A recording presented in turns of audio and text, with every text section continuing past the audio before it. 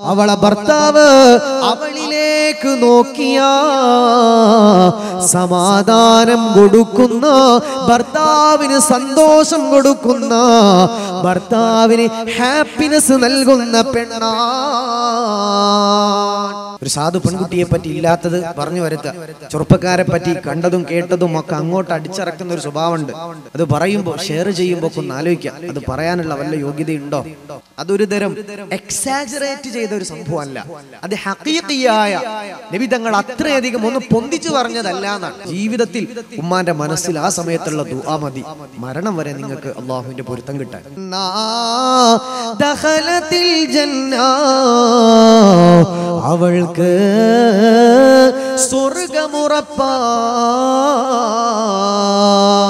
അല്ലാ, ആര് നല്ല ഭർത്താവ് എന്ന് ഭർത്താവ് നന്നായിരിക്കണം. ഇതൊരു വൺ വേ അല്ലേ? ചില സ്ഥലത്ത് റോഡ് വൺ വേ ഉണ്ട്. ഈ വൺ വേ പരിപാടിയല്ല ഈ കല്യാണം? എനിക്കെന്തോ എന്റെ കെട്ടികൾ ഇങ്ങനെ അനങ്ങാണ്ട് കുത്തിരിക്കണോന്നല്ല നിങ്ങളുടെ വൈ ഭർത്താവ് ഒരു കാര്യം പറഞ്ഞ നാലെണ്ണം തിരിച്ചു പറയാ അതല്ല ഹീറോയിസം നോമ്പല്ലേ?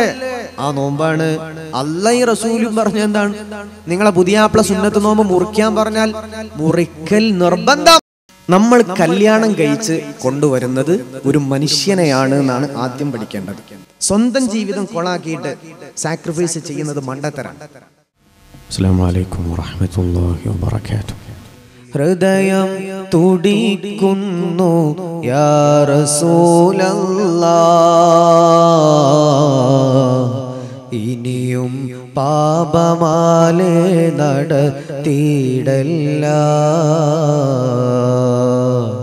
ഇവനൊരു തൗബ തരുമോ യാ അല്ലാ.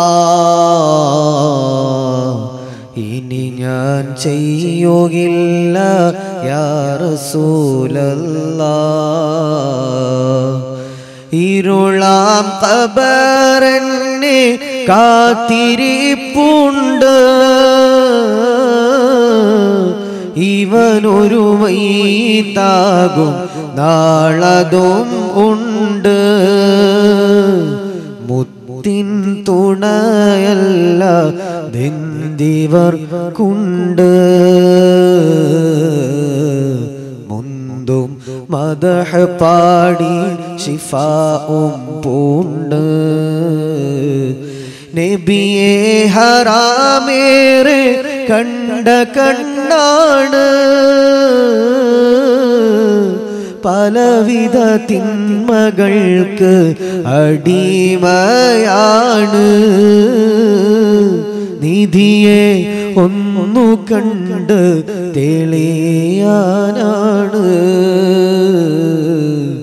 നരകത്തിയിലെറിയും പേടികൊണ്ടാണ് ഹൃദയം നുറുങ്ങുന്നു യാ റസൂലല്ലാ ഇനിയും പാപമാലെ നടത്തിയിടല്ല. ഇവനൊരു തൗബ തരുമോ? യാ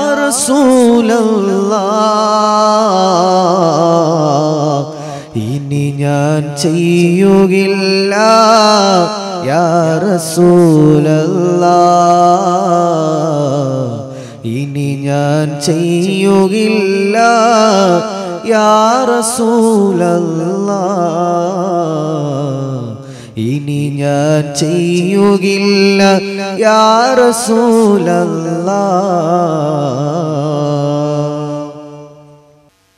നമ്മുടെ നാടിന്റെ വിവിധ പ്രദേശങ്ങളിൽ നിന്ന് ഇവിടെ സഹോദരിമാരും സഹോദരങ്ങളും ഒത്തുചേർന്നിട്ടുണ്ട്. ഒരാളെങ്കിലും ഒരു മാറ്റം ജീവിതത്തിൽ ഉണ്ടായാൽ മാഷാ അള്ളാഹ് ഇത് സംഘടിപ്പിച്ച മുഴുവൻ ആളുകൾക്കും.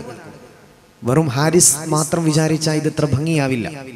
അദ്ദേഹത്തിന് ഈ വേദി ഒരുക്കാനും അതുപോലെ സപ്പോർട്ട് ചെയ്യാനും പ്രചാരണത്തിനൊക്കെ നിങ്ങളൊക്കെ ഒരുമിച്ച് നിന്നതുകൊണ്ടാണ് ഈ രണ്ട് വാട്സാപ്പ് കൂട്ടായ്മയിലുള്ള ആളുകൾ എല്ലാവർക്കും ആഹ്റത്തിൽ അബ്ബാഹുവിന്റെ പരലോകത്ത് വലിയ പ്രതിഫലം അള്ളാഹു നൽകട്ടെ എന്ന് ചെയ്യാം ജീവിതത്തിൽ ഉണ്ടാകുന്ന ഒരുപാട് പ്രതിസന്ധികൾക്ക് പ്രയാസങ്ങൾക്ക് കുടുംബ പ്രശ്നങ്ങൾക്കൊക്കെയുള്ള പരിഹാരങ്ങളാണ് ഞാൻ ഇവിടെ സംസാരിക്കാൻ പോകുന്നത്. സന്തോഷമുള്ള കുടുംബം ഇതാണ് നമ്മുടെ വിഷയം. എന്തിനാണ് നമുക്ക് അള്ളാഹു കുടുംബം തന്നത് എന്തിനാണ് അള്ളാഹു റബ്ബുൽ അസ്സത്ത് നമുക്ക് കുടുംബം തന്നിട്ടുള്ളത് പരിശുദ്ധമായ ഖുർആൻ വളരെ വളരെ മനോഹരമായി പഠിപ്പിക്കുന്ന ഒരു കാര്യമുണ്ട് എന്തിനാണ് ഇണകളെ സൃഷ്ടിച്ചത് ലിതസ്കുനൂ ഇലൈഹാ ومن آياته أن خلق لكم من أنفسكم أزواجا لتسكنوا إليها പരിശുദ്ധമായ ഖുർആൻ പറയാണ് അള്ളാഹുവിന്റെ ദൃഷ്ടാന്തങ്ങളിൽ പെട്ടതാണ്. നിങ്ങളിൽ നിന്ന് തന്നെ ഇണകളെ അള്ളാഹു പടച്ചിരിക്കുന്നത്. അതെന്തിനാണെന്നറിയുമോ? ലിതസ്കുനൂ ഇലൈഹാ.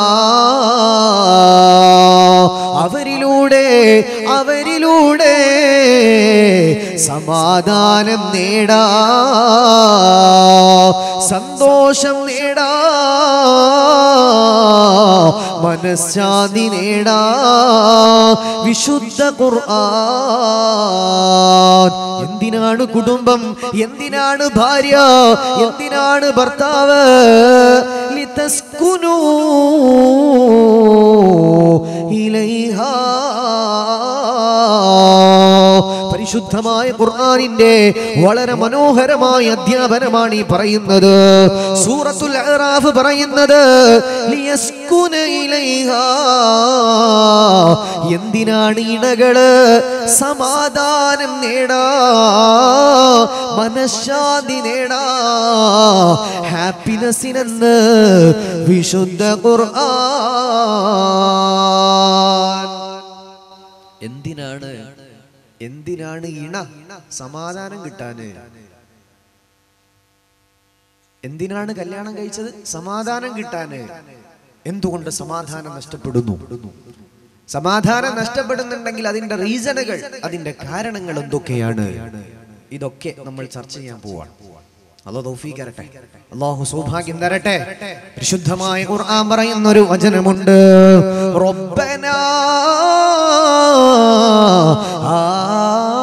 ആതിനാ ഫിദ്ദുനിയാ ഹസന വഫിൽ ആഖിറത ഹസനതോ വഖിനാ അദാബന്നാർ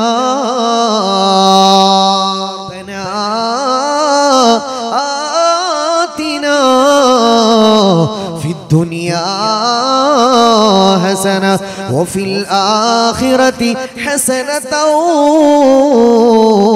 وقنا عذاب النار ഈ ആയത്തിന്റെ വിശദീകരണങ്ങൾ ഇമാമിങ്ങൾ പറയാണ് എല്ലാ ദിവസങ്ങളിലും ഞാനും നിങ്ങളും ദുആ ചെയ്യാറില്ലയോ? ഹസന. ദുനിയാവിൽ എനിക്ക് ഹസനത്ത് തരണേ. അല്ലാ ദുനിയാവിലെ ഹസനത്ത് എന്ന് പറഞ്ഞ അത് രണ്ട് കാര്യങ്ങളാണെന്ന് മഹാന്മാര് പറയാണ്. ഒന്ന് സ്വാലിഹ. സ്വാലിഹ. അത് സ്വാലിഹത്തായ ഒരു പെണ്ണാ ദുനിയാവിലെ വിജയമെന്ന അത് സ്വാലിഹത്തായ ഒരു വൈഫിനെ കിട്ടലാണ്. അമലു സ്വാലിഹ നല്ലത് ചെയ്യലാണ് നന്മ ചെയ്യലാണ്.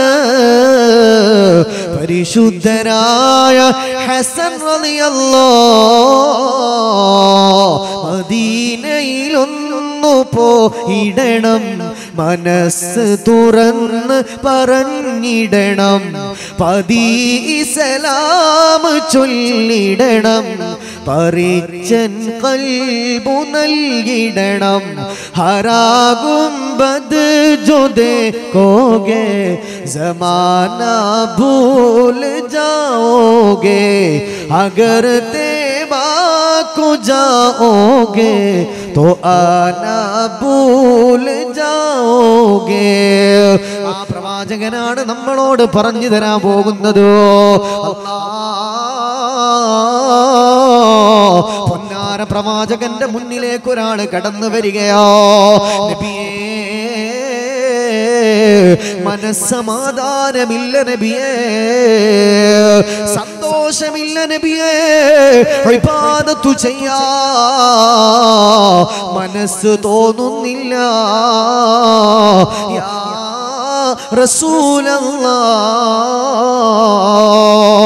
ഇബാദത്ത് ചെയ്യാനുള്ള മനസ്സ് വരുന്നില്ല നബിയേ. അല്ലാടെ പ്രവാചകൻ ചോദിച്ചു മോനെ നീ വിവാഹം ചെയ്തിട്ടുണ്ടോ? നീ വിവാഹം ചെയ്തിട്ടുണ്ടോ? കല്യാണം കഴിച്ചിട്ടുണ്ടോ എന്ന് ചോദിച്ചു അറാബി പറഞ്ഞു ഇല്ല നബി. അപ്പൊ നബി തങ്ങൾ പറഞ്ഞു നീ പെട്ടെന്ന് പോയിട്ട് കല്യാണം കഴിക്കണം. അത് നിന്റെ ജീവിതത്തിന് സമാധാനം കിട്ടും. എന്ന ഹദീസിന്റെ വിശദീകരണത്തിൽ അതിന്റെ പശ്ചാത്തലത്തെ സംബന്ധിച്ചുകൊണ്ട് ഇമാമിങ്ങൾ രേഖപ്പെടുത്തിയ ഒരു സംഭവമാണിത്. ദീനുള്ള ഒരു പെണ്ണിനെ പോയി കെട്ടിക്കോ നിനക്ക് സമാധാനം കിട്ടും. പരിശുദ്ധമായ ഖുർആൻ പറയുന്ന വേറൊരു വചനമുണ്ടല്ലോ. ഹുന്ന ലിബാസുല്ലക്കും വആതും ലിബാസുല്ലഹുന്ന ഹുന്ന ലിബാസുല്ല നിങ്ങളുടെ വൈഫ് നിങ്ങളുടെ ഭാര്യ. ലിബാസുല്ലകും നിങ്ങൾക്ക് വസ്ത്രമാണ്. വാത്തും ലിബാസുല്ലഹുന്ന നിങ്ങളോ അവരുടെയും വസ്ത്രമാ.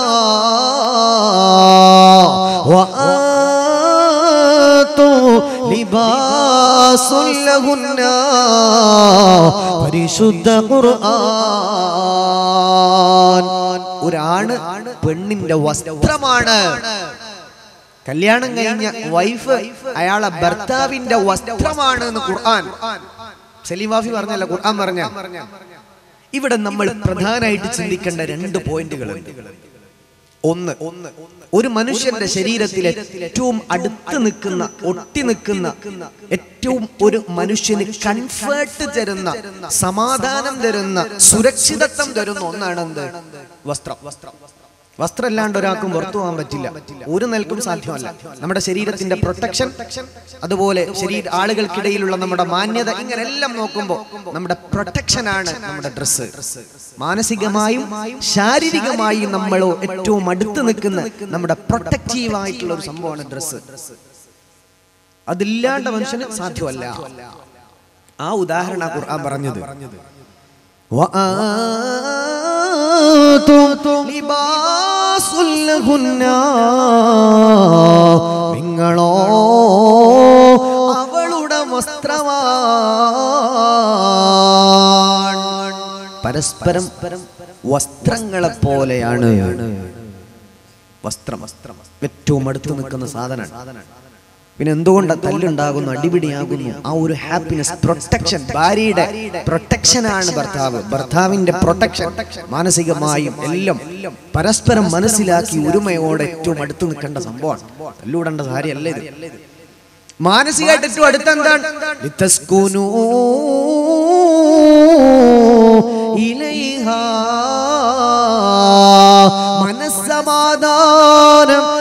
മനസ്സിന് സന്തോഷം നേടാ. മനഃശാന്തി നേടാ. അതിനാണ് കുടുംബം വൈഫ് ഭാര്യ ഭർത്താവ്. അപ്പൊ അതിന്റെ അടിത്തറ ഞാൻ പറഞ്ഞു. ഇത് സമാധാനം കിട്ടാനുള്ള പരിപാടിയാണ് ഈ കുടുംബം കെട്ടുന്നത്. മക്കൾ എന്തിനു സമാധാനം കിട്ടാൻ? വൈഫ് എന്തിനു സമാധാനം കിട്ടാൻ? ഭർത്താവ് എന്തിനു സമാധാന ജീവിതത്തിൽ? ഇനി നമ്മൾ ഒരു കുടുംബം പ്രധാനമായിട്ട് എന്തൊക്കെയാണ് എന്ന് പഠിക്കാൻ പോകുന്നത് നാല് കാര്യം. ഞാൻ കഷ്ട ഒരു ഒരുപാട് കിലോമീറ്റർ സഞ്ചരിച്ച് ഇവിടെ വന്നത്. ഞാൻ വരുന്ന ഇന്ന് ഇന്നലെ നമ്മുടെ പരിപാടി എന്തേനു? മേലാറ്റൂർ ഭാഗത്ത് മഞ്ചേരി പരിസരത്ത് ഇവിടെ പുല്ലിക്കുത്തോ നെല്ലിക്കുത്തോ എന്ന് പറഞ്ഞ സ്ഥലത്തായിരുന്നു. ആ വയൽ കഴിഞ്ഞിട്ട് വീട്ടിലെത്തി വലിയ പ്രയാസം ബുദ്ധിമുട്ടും ഛർദിയും അങ്ങനെയൊക്കെ ബുദ്ധിമുട്ടായി സിറിഞ്ചൊക്കെ ഇഞ്ചക്ഷനൊക്കെ ചെയ്ത് നമ്മുടെ ഹാരിസ് ഖാന്റെ അത്രയും റിസ്ക്കും അധ്വാനമുള്ള ഒരുപാട് നാളത്തെ ബന്ധം ആലോചിച്ചിട്ടാണ് ഞാൻ ഇങ്ങോട്ട് വന്നത്. അപ്പോൾ ആ ഒരു ടാബ്ലറ്റിലും ഈ എന്താ പറയുക ഇഞ്ചക്ഷനിലുമാണ് സംസാരിക്കുന്നത്. നാളെ കർണാടക തോടാർ മക്കാം മൂസാണ്. ഇത് കഴിഞ്ഞിട്ട് നാളെ അങ്ങോട്ടേക്ക് പോകണം. നമ്മളെല്ലാം കയ്യോളം ഇങ്ങനെ ഓരോ എല്ലാ മിക്ക തൊണ്ണൂറ്റൊമ്പത് ശതമാനം ദിവസം പരിപാടികളാണ്. അപ്പോൾ നിങ്ങളോട് എനിക്ക് ഒറ്റ കാര്യം നിങ്ങൾ എനിക്ക് വേണ്ടി ആരോഗ്യത്തിന് ആഫിയത്തിന് ദുആ ചെയ്യണം. അത് മാത്രം മതി. അള്ളാഹു റബുലിസത്ത് കബൂലാക്കി തരട്ടെ. ആമീൻ. അപ്പൊ അത്രയും റിസ്ക് എടുത്ത് വന്ന് പറയുമ്പോൾ നമ്മുടെ ജീവിതത്തിൽ ഒരു മാറ്റം ഉണ്ടാവണം. അതിന് ഞാൻ കുറേ ബഹളം ഉണ്ടാക്കി കുറേ ഒച്ചപ്പാടുണ്ടാക്കി അവിടുത്തെയും ഇവിടുത്തെയും കുറേ കഥയും പറഞ്ഞ് നാട്ടിർത്താനും കോമഡിയും പറഞ്ഞ് ചിരിച്ച് എന്നിട്ട് പോയിട്ടൊരു കാര്യമില്ല അതുകൊണ്ട് നല്ല നീയത്തോടു കൂടി ഇൻഷാ അള്ളാഹ് നമ്മൾ പഠിച്ചു മനസ്സിലാക്കിയിട്ട് ഇവിടെ നിന്ന് പോകണം. ഒരു മാറ്റം നമ്മുടെ നാട്ടിൽ നമ്മുടെ കുടുംബത്തിലൊക്കെ ഉണ്ടാകണം. ചെറിയ ജീവിതം. തല്ലുവിടാൻ നമുക്ക് എന്തില്ല? നേരല്ല. അത് ആദ്യം പഠിച്ചാൽ മതി. ആദം നബി അലൈഹി ഇസ്ലാമിന് ആയിരം കൊല്ലുണ്ടായിരുന്നു നമുക്ക് അത്ര കാലമില്ല. അതിന്റെ പത്തിലൊന്ന് കാലമില്ല നമുക്ക്. അതിന്റെ ഇരുപതിലൊന്ന് കാലം അതേ നമുക്കുള്ളൂ.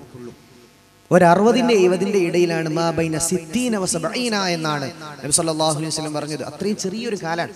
ഇവിടെ ടെൻഷൻ അടിക്കാൻ മാത്രം ഒന്നുമില്ല. അതാദ്യം ഞാൻ അടക്കം ചിന്തിച്ചാൽ നമുക്ക് ഒരു സമാധാനക്കേടും ജീവിതത്തിൽ ഉണ്ടാവില്ല.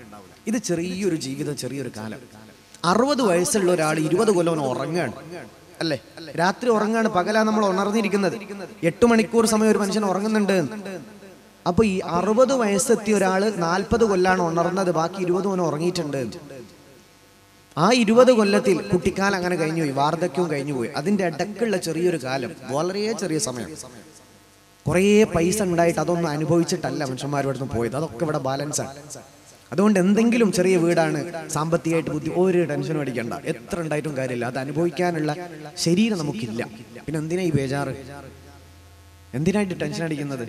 ഇന്നലെ ഞാൻ വയലിന് പോയ സ്ഥലത്ത് ഒരാൾ എന്നോട് പറഞ്ഞു. ഒരു ആറര കോടി രൂപയുടെ വീടിന്റെ പണിയൊക്കെ കഴിഞ്ഞിട്ടുണ്ട്. ആറര കോടി രൂപയുടെ വീടിന്റെ പണി എല്ലാം കഴിഞ്ഞതാണ് യു എയിൽ ഞാൻ യു എയിൽ പോയപ്പോൾ അദ്ദേഹത്തെ പരിചയപ്പെട്ടിരുന്നു. അദ്ദേഹം ഇന്ന് അറ്റാക്ക് വന്നിട്ട് അത്യാസന്ന നിലയിലാണ്. അള്ളാഹു ഷിഫ നൽകട്ടെ. ആമീൻ ഓറമ്പെല്ലാരും നാൽപ്പത്തിനാല് വയസ്സ് മാത്രമേ പ്രായമുള്ളൂ. ഡോക്ടർമാർ പ്രതീക്ഷ കൈവിട്ടിട്ടാണ് ഉള്ളത്. പല സർജറികളും ചെയ്ത് വലിയ ഒരു പ്രതിസന്ധിയിലാണുള്ളത്. വെന്റിലേറ്ററിൽ അള്ളാഹു ഷിഫ നൽകട്ടെ. ആമീൻ റബ്ബ്. ഇത്ര മനുഷ്യന്മാർക്ക് ആയുസ്സുള്ളൂ ആരോഗ്യവും. അതുകൊണ്ട് ഈ കടലിന്റെ പരിസരത്ത് അള്ളാഹു തന്ന ശുദ്ധമായ മത്സ്യമൊക്കെ അതിലൊക്കെ ബിസിനസ്സൊക്കെ ചെയ്ത് നല്ല പൈസ കൊണ്ട് ജീവിക്കുന്ന മനുഷ്യന്മാരാങ്ങൾ ഏറ്റവും ശുദ്ധന്മാരായ ആളുകൾ. അള്ളാഹുവിന്റെ ഔലിയാക്കന്മാരൊക്കെ ഈ കടൽ തീരത്തോട് ചേർന്ന് നിന്ന് ദഅവത്ത് ചെയ്ത മഹാന്മാരാണ്. വെളിയങ്കോട് മഹാനവറുകൾ. ഇവിടെ നിന്ന് അങ്ങോട്ട് കടൽ തീരം അങ്ങോട്ട് കാസർഗോഡ് വരെ പോവാണെങ്കിൽ മഹാനായ ഷംസുലുലമാഹുൻ മഹാന്റെ ഹലറത്ത് ഒരു കടലിനോട് ചേർന്നാണ്. വരക്കൽ മുല്ലക്കോയ തങ്ങൾ കടലിനോട് അടുത്താണ്. ഷെയ്ഖ് ബദവി തങ്ങൾ കടലിനോട് അടുപ്പിച്ചാണ്. മഹാനായ അലാബുദ്ദീൻ കടൽ തീരത്തിനോട് അടുത്താണ്. ഇവിടെ നിന്ന് അങ്ങ് തിരുവനന്തപുരം വരെ പോയാൽ അതുകൊണ്ട് ശുദ്ധമായ ഹലാലും തൊയ്യബുമായ പൈസക്ക് ജീവിക്കാൻ പറ്റിയ ഒരു ഭാഗ്യമുള്ള മനുഷ്യന്മാരാണ്. അതുകൊണ്ട് അള്ളാഹു തന്ന ഞാമത്തിനൊക്കെ മനസ്സിലാക്കിയിട്ട് ചെറിയ ജീവിതമാണ് ഒരു ടെൻഷനും അങ്ങോട്ട് ജീവിക്കുക ഉള്ളതുകൊണ്ട്. ഈ ദുനിയാവിൽ എല്ലാ മനുഷ്യന്മാരും രാത്രി ഇന്നലെ രാത്രി അംബാനി ഇന്ത്യയിലെ വലിയ പൈസക്കാരനാണ് അംബാനി. മൂപ്പര് കടന്നുറങ്ങിയത് അങ്ങനെയാണ് ഒരു കട്ടിൽ മൂപ്പർക്ക് എണ്ണായിരം കോടിന്റെ വീടുണ്ട്. നൂറ് റൂമിൽ മൂപ്പര് ഉറങ്ങിയിട്ടില്ല. ഒറ്റ കട്ടിൽ നമ്മൾ ഉറങ്ങിയത് ഒരു കട്ടിൽ എന്തിനായി പേടിക്കുന്നത്? ജീവിതത്തിന്റെ ലോകത്തെ എല്ലാ പൈസ ഉള്ളവരും ഇല്ലാത്തവനൊക്കെ ഒരുപാട് സമയം ഒരേ അനുഭവമാണ്. തിന്നാൻ കുറേ പൈസ ഉണ്ട് കുറെ തിന്നാൻ നമുക്കാവോ ലോകത്തൊരു മനുഷ്യന്റെ ഏറ്റവും വലിയ ഹാപ്പിനെസ് എന്ന് പറയുന്നത് ഫുഡാണ് ലോകത്തെ പുതിയ മനുഷ്യന്റെ സൈക്കോളജിയും മെന്റാലിറ്റിയും ഒക്കെ മാറി. ഒരു മനുഷ്യന്റെ ഏറ്റവും വലിയ ലിവിങ് എക്സ്പീരിയൻസസ് എന്നാണ് അതിന് പറയുക. ജീവിതാനുഭവങ്ങൾ. അതിൽ ഏറ്റവും പ്രധാനപ്പെട്ട ഒരു അനുഭവം നല്ല ഫുഡ് ടേസ്റ്റ് ചെയ്യുക എന്നുള്ളതാണ് നല്ല ഫുഡ് പണ്ടൊക്കെ ഫുഡ് ഭക്ഷണം തിന്നാന്നാ പറയും ഇന്നത്തെ കുട്ടികൾ തിന്നാന്ന് പറയൂല. അവർ ട്രൈ ചെയ്യാന്ന് പറയും അല്ലേ? മസ്റ്റ് ട്രൈ ആണ്. ഒന്ന് ട്രൈ ചെയ്ത് നോക്ക് എന്ന് പറയാം. ഫുഡ് എൻജോയ് ചെയ്യാം. ലോകത്തെ ഒരു എൻജോയ്മെന്റ് ഫുഡാണ് അതിന് നമുക്ക് എല്ലാവർക്കും ഒരേ ആമാശയാണ്. യൂസുഫ് അലിഖാന്റെ കൂടെ ഇരുന്നാലും മൂപ്പർക്കും ഒരു ബിരിയാണി തിന്നാൻ പറ്റും നമുക്കൊരു ബിരിയാണി തിന്നാൻ പറ്റും. പൈസ ഉള്ളവനും ഇല്ലാത്തവനൊക്കെ ആമാശയത്തിന് സെയിം മെത്തേഡാണ് അള്ളാഹു തന്നത്. ഇനി എന്തിനായി പേടി? അതുകൊണ്ട് കുറേ പണമില്ല എനിക്ക് വലിയ വീടില്ല. എന്തിനു പേടിക്കുന്ന? ഒരു കട്ടിലെ ആവശ്യമുള്ളൂ ഉറങ്ങാൻ. വീട് എന്ന് പറഞ്ഞാൽ ഉറങ്ങുക എന്നതാണ് ഏറ്റവും പ്രധാനപ്പെട്ട വീടിന്റെ ഉപയോഗം. അതാണ് ബെറ്റർ സ്ലീപ്പ് അതിനാണ് ഈ ഹോം എന്ന് പറയുന്നത്. നന്നായിട്ട് വിശ്രമിക്കാൻ ഉറങ്ങാനും പറ്റിയ ഇടം. ബാക്കി സമയമൊക്കെ അങ്ങാടിയിലാണ്. നമ്മൾ ജോലി സ്ഥലത്താണ്.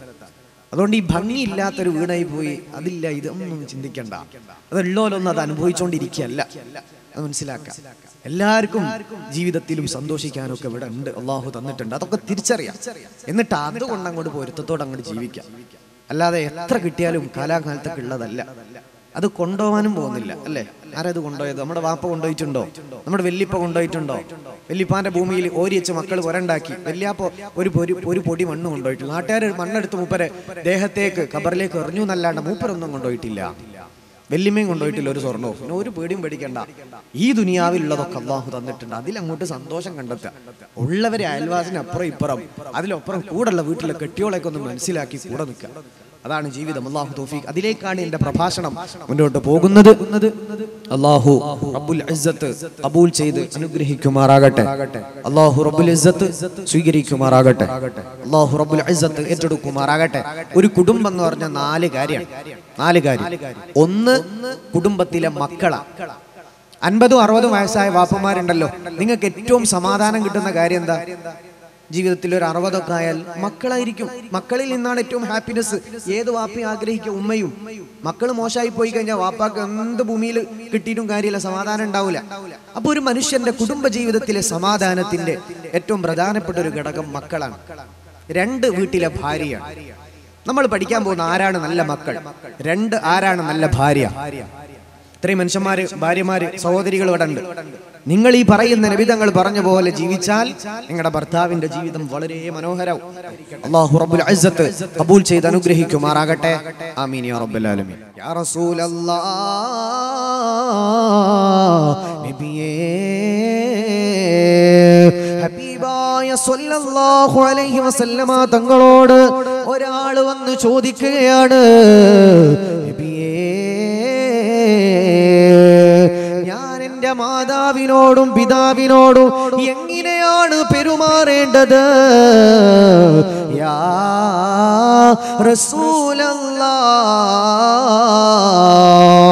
എന്റെ മാതാവിനോടും പിതാവിനോടും ഞാൻ പെരുമാറേണ്ടത്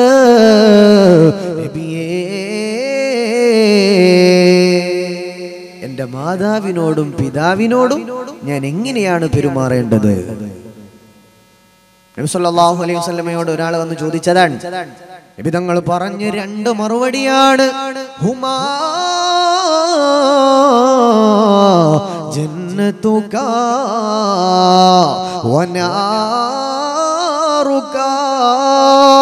മോനേ നിന്റെ വാപ്പ നിന്റെ സ്വർഗമാണ്. നിന്റെ ഉമ്മ നിന്റെ സ്വർഗമാണ്. നിന്റെ വാപ്പ നിന്റെ നരകമാ. നിന്റെ ഉമ്മ നിന്റെ നരകമാണ് രണ്ടു മറുപടി. നിന്റെ വാപ്പ നിന്റെ ഉമ്മ ഇത് രണ്ടും നിന്റെ സ്വർഗമാണ്. വനാറുക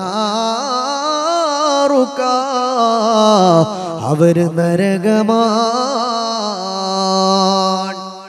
അവർ നരകവുമാണ്. യാ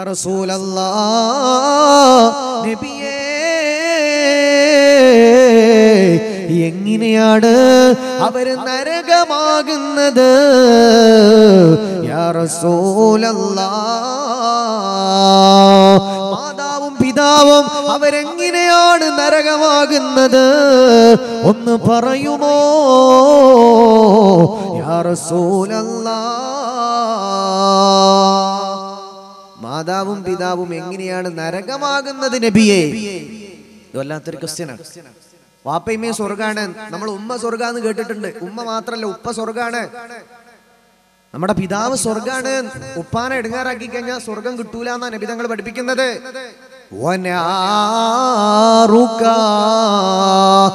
രണ്ടാളും നരകവുമാണ് സ്വർഗവുമാണ്. സുഹാബാ, നീ കാരണം നിന്റെ മാതാവും പിതാവും അവർ വേദനയിലാണോ? നിനക്ക് നരകമാ. നീ കാരണം നിന്റെ മാതാവും പിതാവും സന്തോഷത്തിലാണോ? നിനക്ക് സ്വർഗമാണ് നബി തങ്ങൾ അങ്ങനെ പറഞ്ഞത്. നീ കാരണം നിന്റെ മാതാവിനും പിതാവിനും സമാധാനാണെങ്കിൽ നിനക്ക് സ്വർഗം. നമ്മൾ കാരണം നമ്മുടെ മാതാവിനും പിതാവിനും എടങ്ങാറാണെങ്കിൽ നമുക്ക് നരകമാണ് എന്ന് ഹബീബുന അലൈഹി വസല്ലം. അള്ളാഹ് നമ്മളെ കാത്തിരക്ഷിക്കട്ടെ. യാ നബിയേ ഇമാം ബുഖാരി തങ്ങൾ കൊണ്ടുവന്ന ഹദീസാണ്. ഇമാം അബൂ ഹുറൈറ തങ്ങളാണ് പറയുന്നത് യാ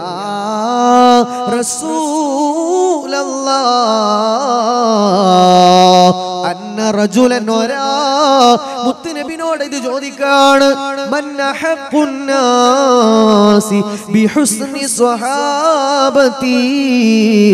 ഞാൻ ഏറ്റവും നല്ല പോലെ പെരുമാറേണ്ടത് അതാരോടാണു നബിയേ? ഞാൻ ഏറ്റവും നല്ല പോലെ പെരുമാറേണ്ടത് അതാരോടാണ് നബിയേ? ഏറ്റവും നന്നായി പെരുമാറേണ്ടത് ആരോടാണ്? വിധങ്ങൾ പറഞ്ഞില്ലയോ? ഉമ്മുക നിന്റെ മാതാവിനോട് മൂന്ന് വട്ടം അതാണ് പറഞ്ഞത്. അബൂക്ക അത് കഴിഞ്ഞ നിന്റെ പിതാവിനോട് ഏറ്റവും നന്നായി പെരുമാറേണ്ടത് അത് ഉപ്പയോടുമാണെന്ന് മുഹമ്മദുനിൽ മുസ്തഫ. സ്നേഹം മരിക്കരുതേ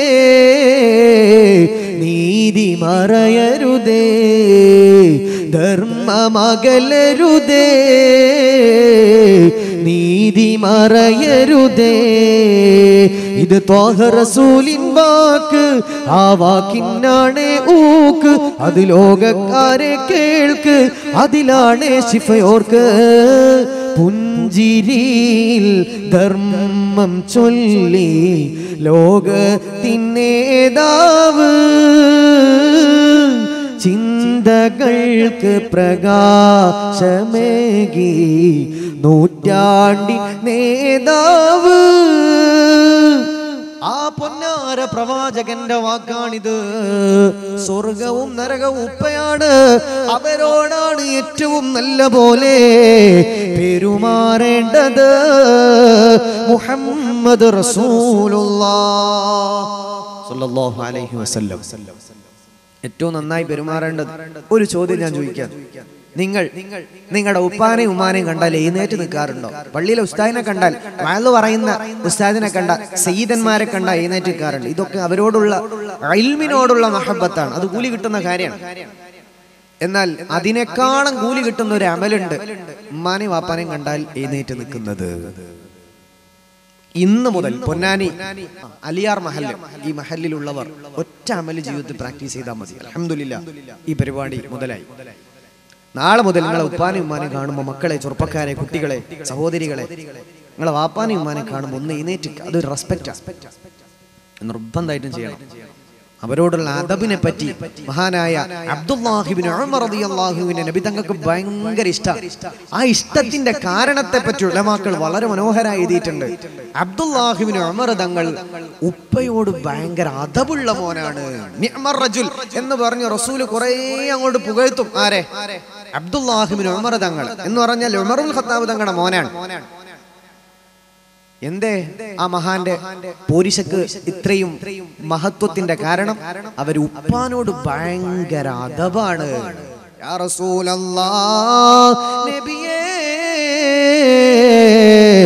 എനിക്ക് സമ്പന്നനാകണം സാമ്പത്തികമായ ബറക്കത്ത് വേണമേ അതിനു പരിഹാരമുണ്ടോ?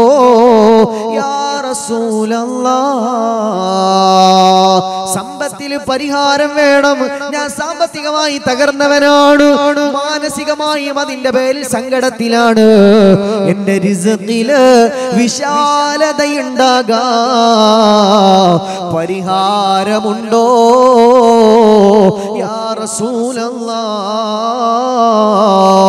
അള്ളാടെ പ്രവാചകനോട് പറയുകയോ നബി തങ്ങൾ പറഞ്ഞു മോനെ നിന്റെ പിതാവ് ഹയാത്തിലുണ്ടോ? ആ വന്നയാൾ പറഞ്ഞു ഉണ്ട് നബിയേ. ചെയ്തോ? നിനക്ക് സാമ്പത്തികമായ ഭദ്രത അള്ളാഹു നൽകുമെന്ന് സാമ്പത്തികമായ പുരോഗതി അള്ളാഹു നൽകുമെന്ന്. ഹബീബ് അലൈഹി വസല്ലം. സാമ്പത്തികമായ ഭദ്രത. ഉപ്പാനെ മരിക്കുന്നവരെ അങ്ങോട്ട് സംരക്ഷിക്കാം.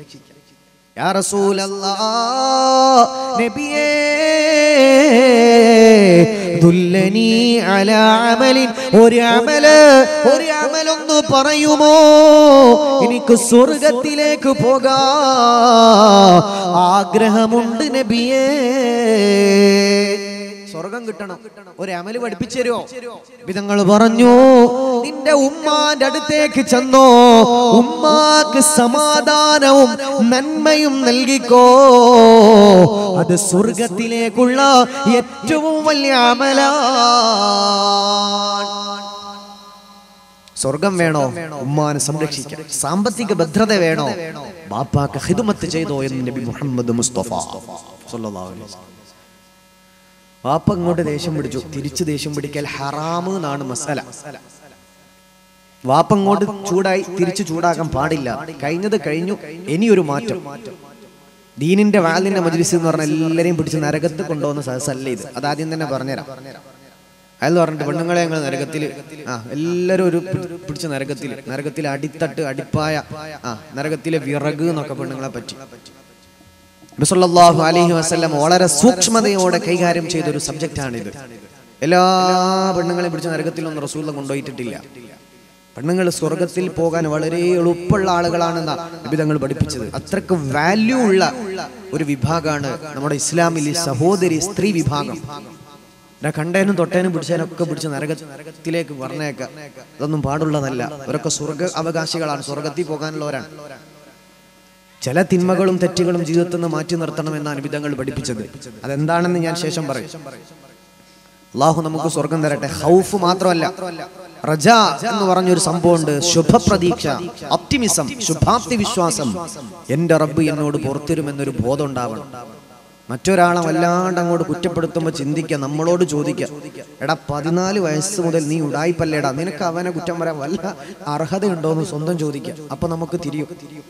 ഒരു സാധു പെൺകുട്ടിയെ പറ്റി ഇല്ലാത്തത് പറഞ്ഞു വരുത്തുക. ചെറുപ്പക്കാരെ പറ്റി കണ്ടതും കേട്ടതും ഒക്കെ അങ്ങോട്ട് അടിച്ചിറക്കുന്ന ഒരു സ്വഭാവമുണ്ട്. അത് പറയുമ്പോൾ ഷെയർ ചെയ്യുമ്പോൾ ഒക്കെ ഒന്ന് അത് പറയാനുള്ള വല്ല യോഗ്യതയുണ്ടോ? ഒരു മനുഷ്യനെ നന്നാക്കൽ അങ്ങനെയല്ല മാറ്റി നിർത്തിയിട്ടല്ല. അവരെ ചേർത്ത് പിടിച്ച് അല്ലേ? ഒരു കള്ളുകുടിയിൽ അകപ്പെട്ടു പോയി.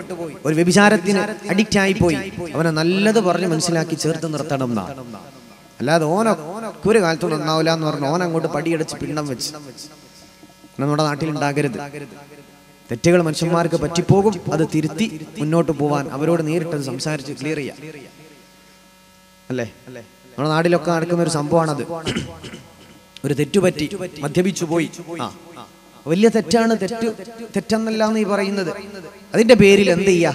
അവൻ അങ്ങോട്ട് ഒന്നിനും പറ്റാത്തവനാക്കി കളയാ അത് പാടുള്ളതല്ല.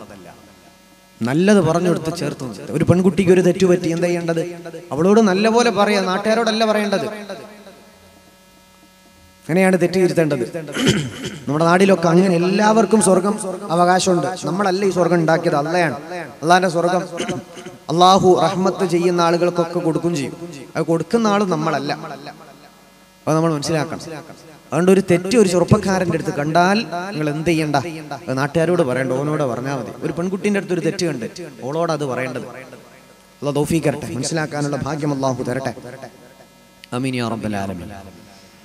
അപ്പോ നല്ല മക്കളാവും എല്ലാവരും. വാപ്പാനെയും ഉമ്മാനെ അനുസരിച്ച് ജീവിച്ചെങ്കിൽ മാത്രമേ സ്വർഗത്തിൽ പോവുള്ളൂ. യാ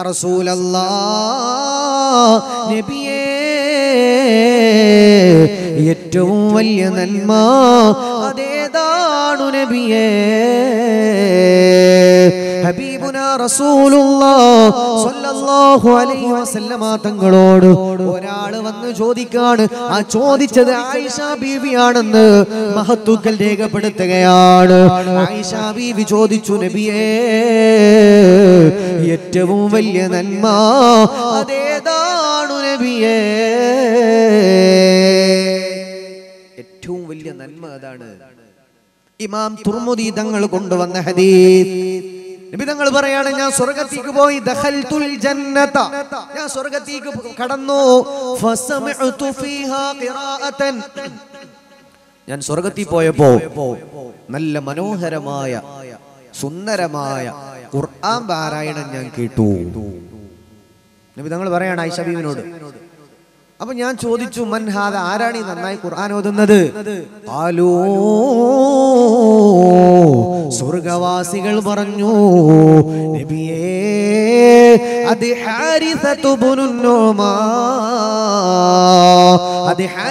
തങ്ങളാണ്. അപ്പൊ നബി തങ്ങൾ പറയാണ് ഫദാലികുമുൽ ബിർറു അതാണ് നന്മ അതാണ് നന്മ. ഫദാലികുമുൽ ബിർറു അതാണ് നന്മ.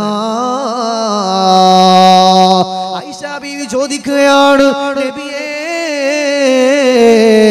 ആ നന്മ അതേതാണു നബിയേ തങ്ങൾ പറയാണ്. മുത്തുനബി സല്ലല്ലാഹു അലൈഹി വസല്ലം തങ്ങൾ പറയാണ് ആയിഷ വകാന അബറന്നാസി ബി ഉമ്മിഹി.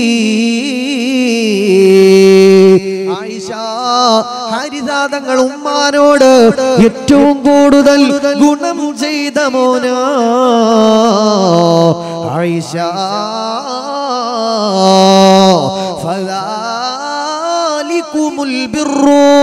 അതാണ് നന്മ. ഹബീബ്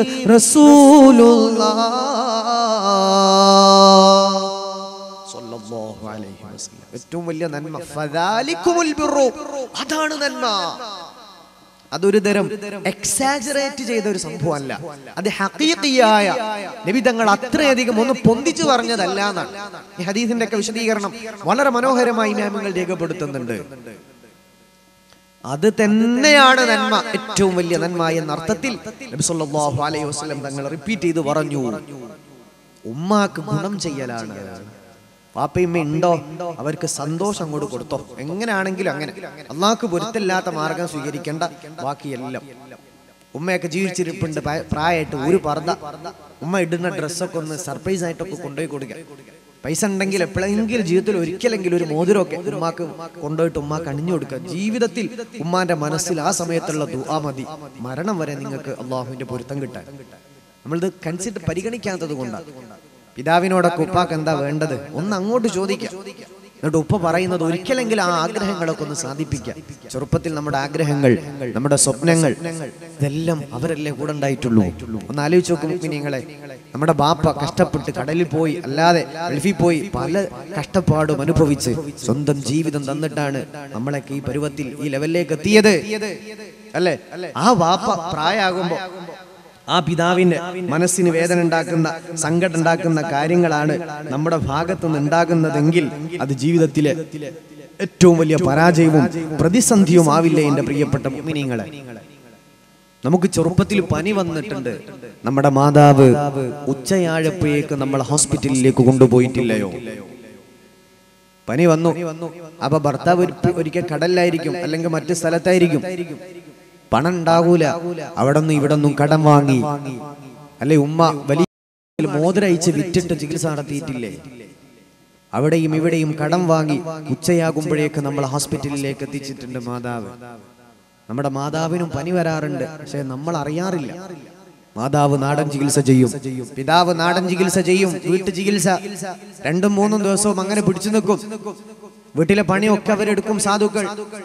ചിലപ്പോ ചില ദിവസം പനി മൂത്ത് അസുഖം മൂത്ത് അവിടെ വീട്ടിനകത്ത് കിടപ്പിലായാൽ രാവിലത്തെ നാസ്ത ചായ കിട്ടാതാകുമ്പോ നമ്മൾ ചോദിക്കും ഇവിടെ നാസ്ത ഉണ്ടാക്കാനൊന്നും ആരുമില്ലേ അപ്പൊ പറയും ഉമ്മ മോനെ ഉമ്മാക്ക് മൂന്ന് ദിവസമായി പനിയാണ്.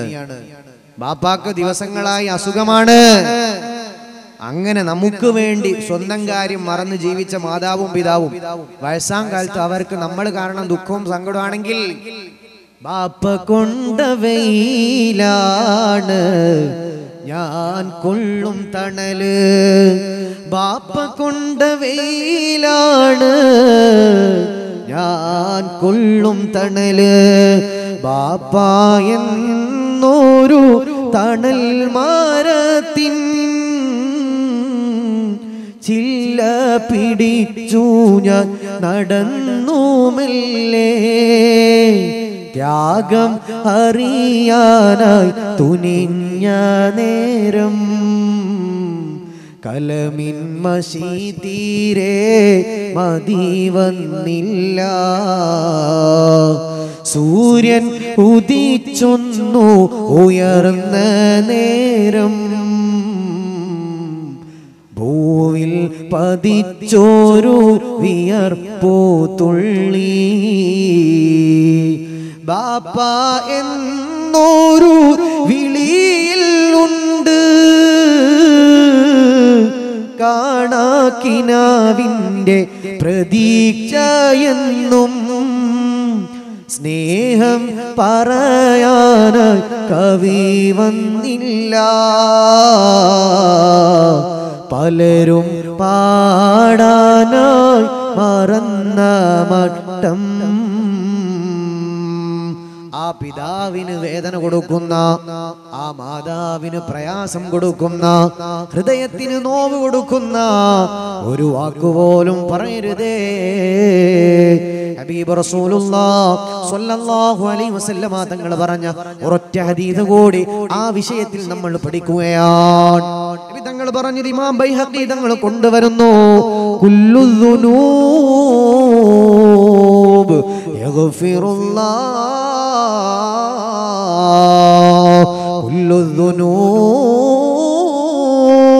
യഗ്ഫിറുല്ലാഹു തആല. മിൻഹാ മാഷാ ഒരു മനുഷ്യന്റെ എല്ലാ പാപങ്ങളും അത് അള്ളാഹു പൊറുക്കുമെന്ന് റബ്ബ് പൊറുക്കുമെന്ന് ഇല്ല.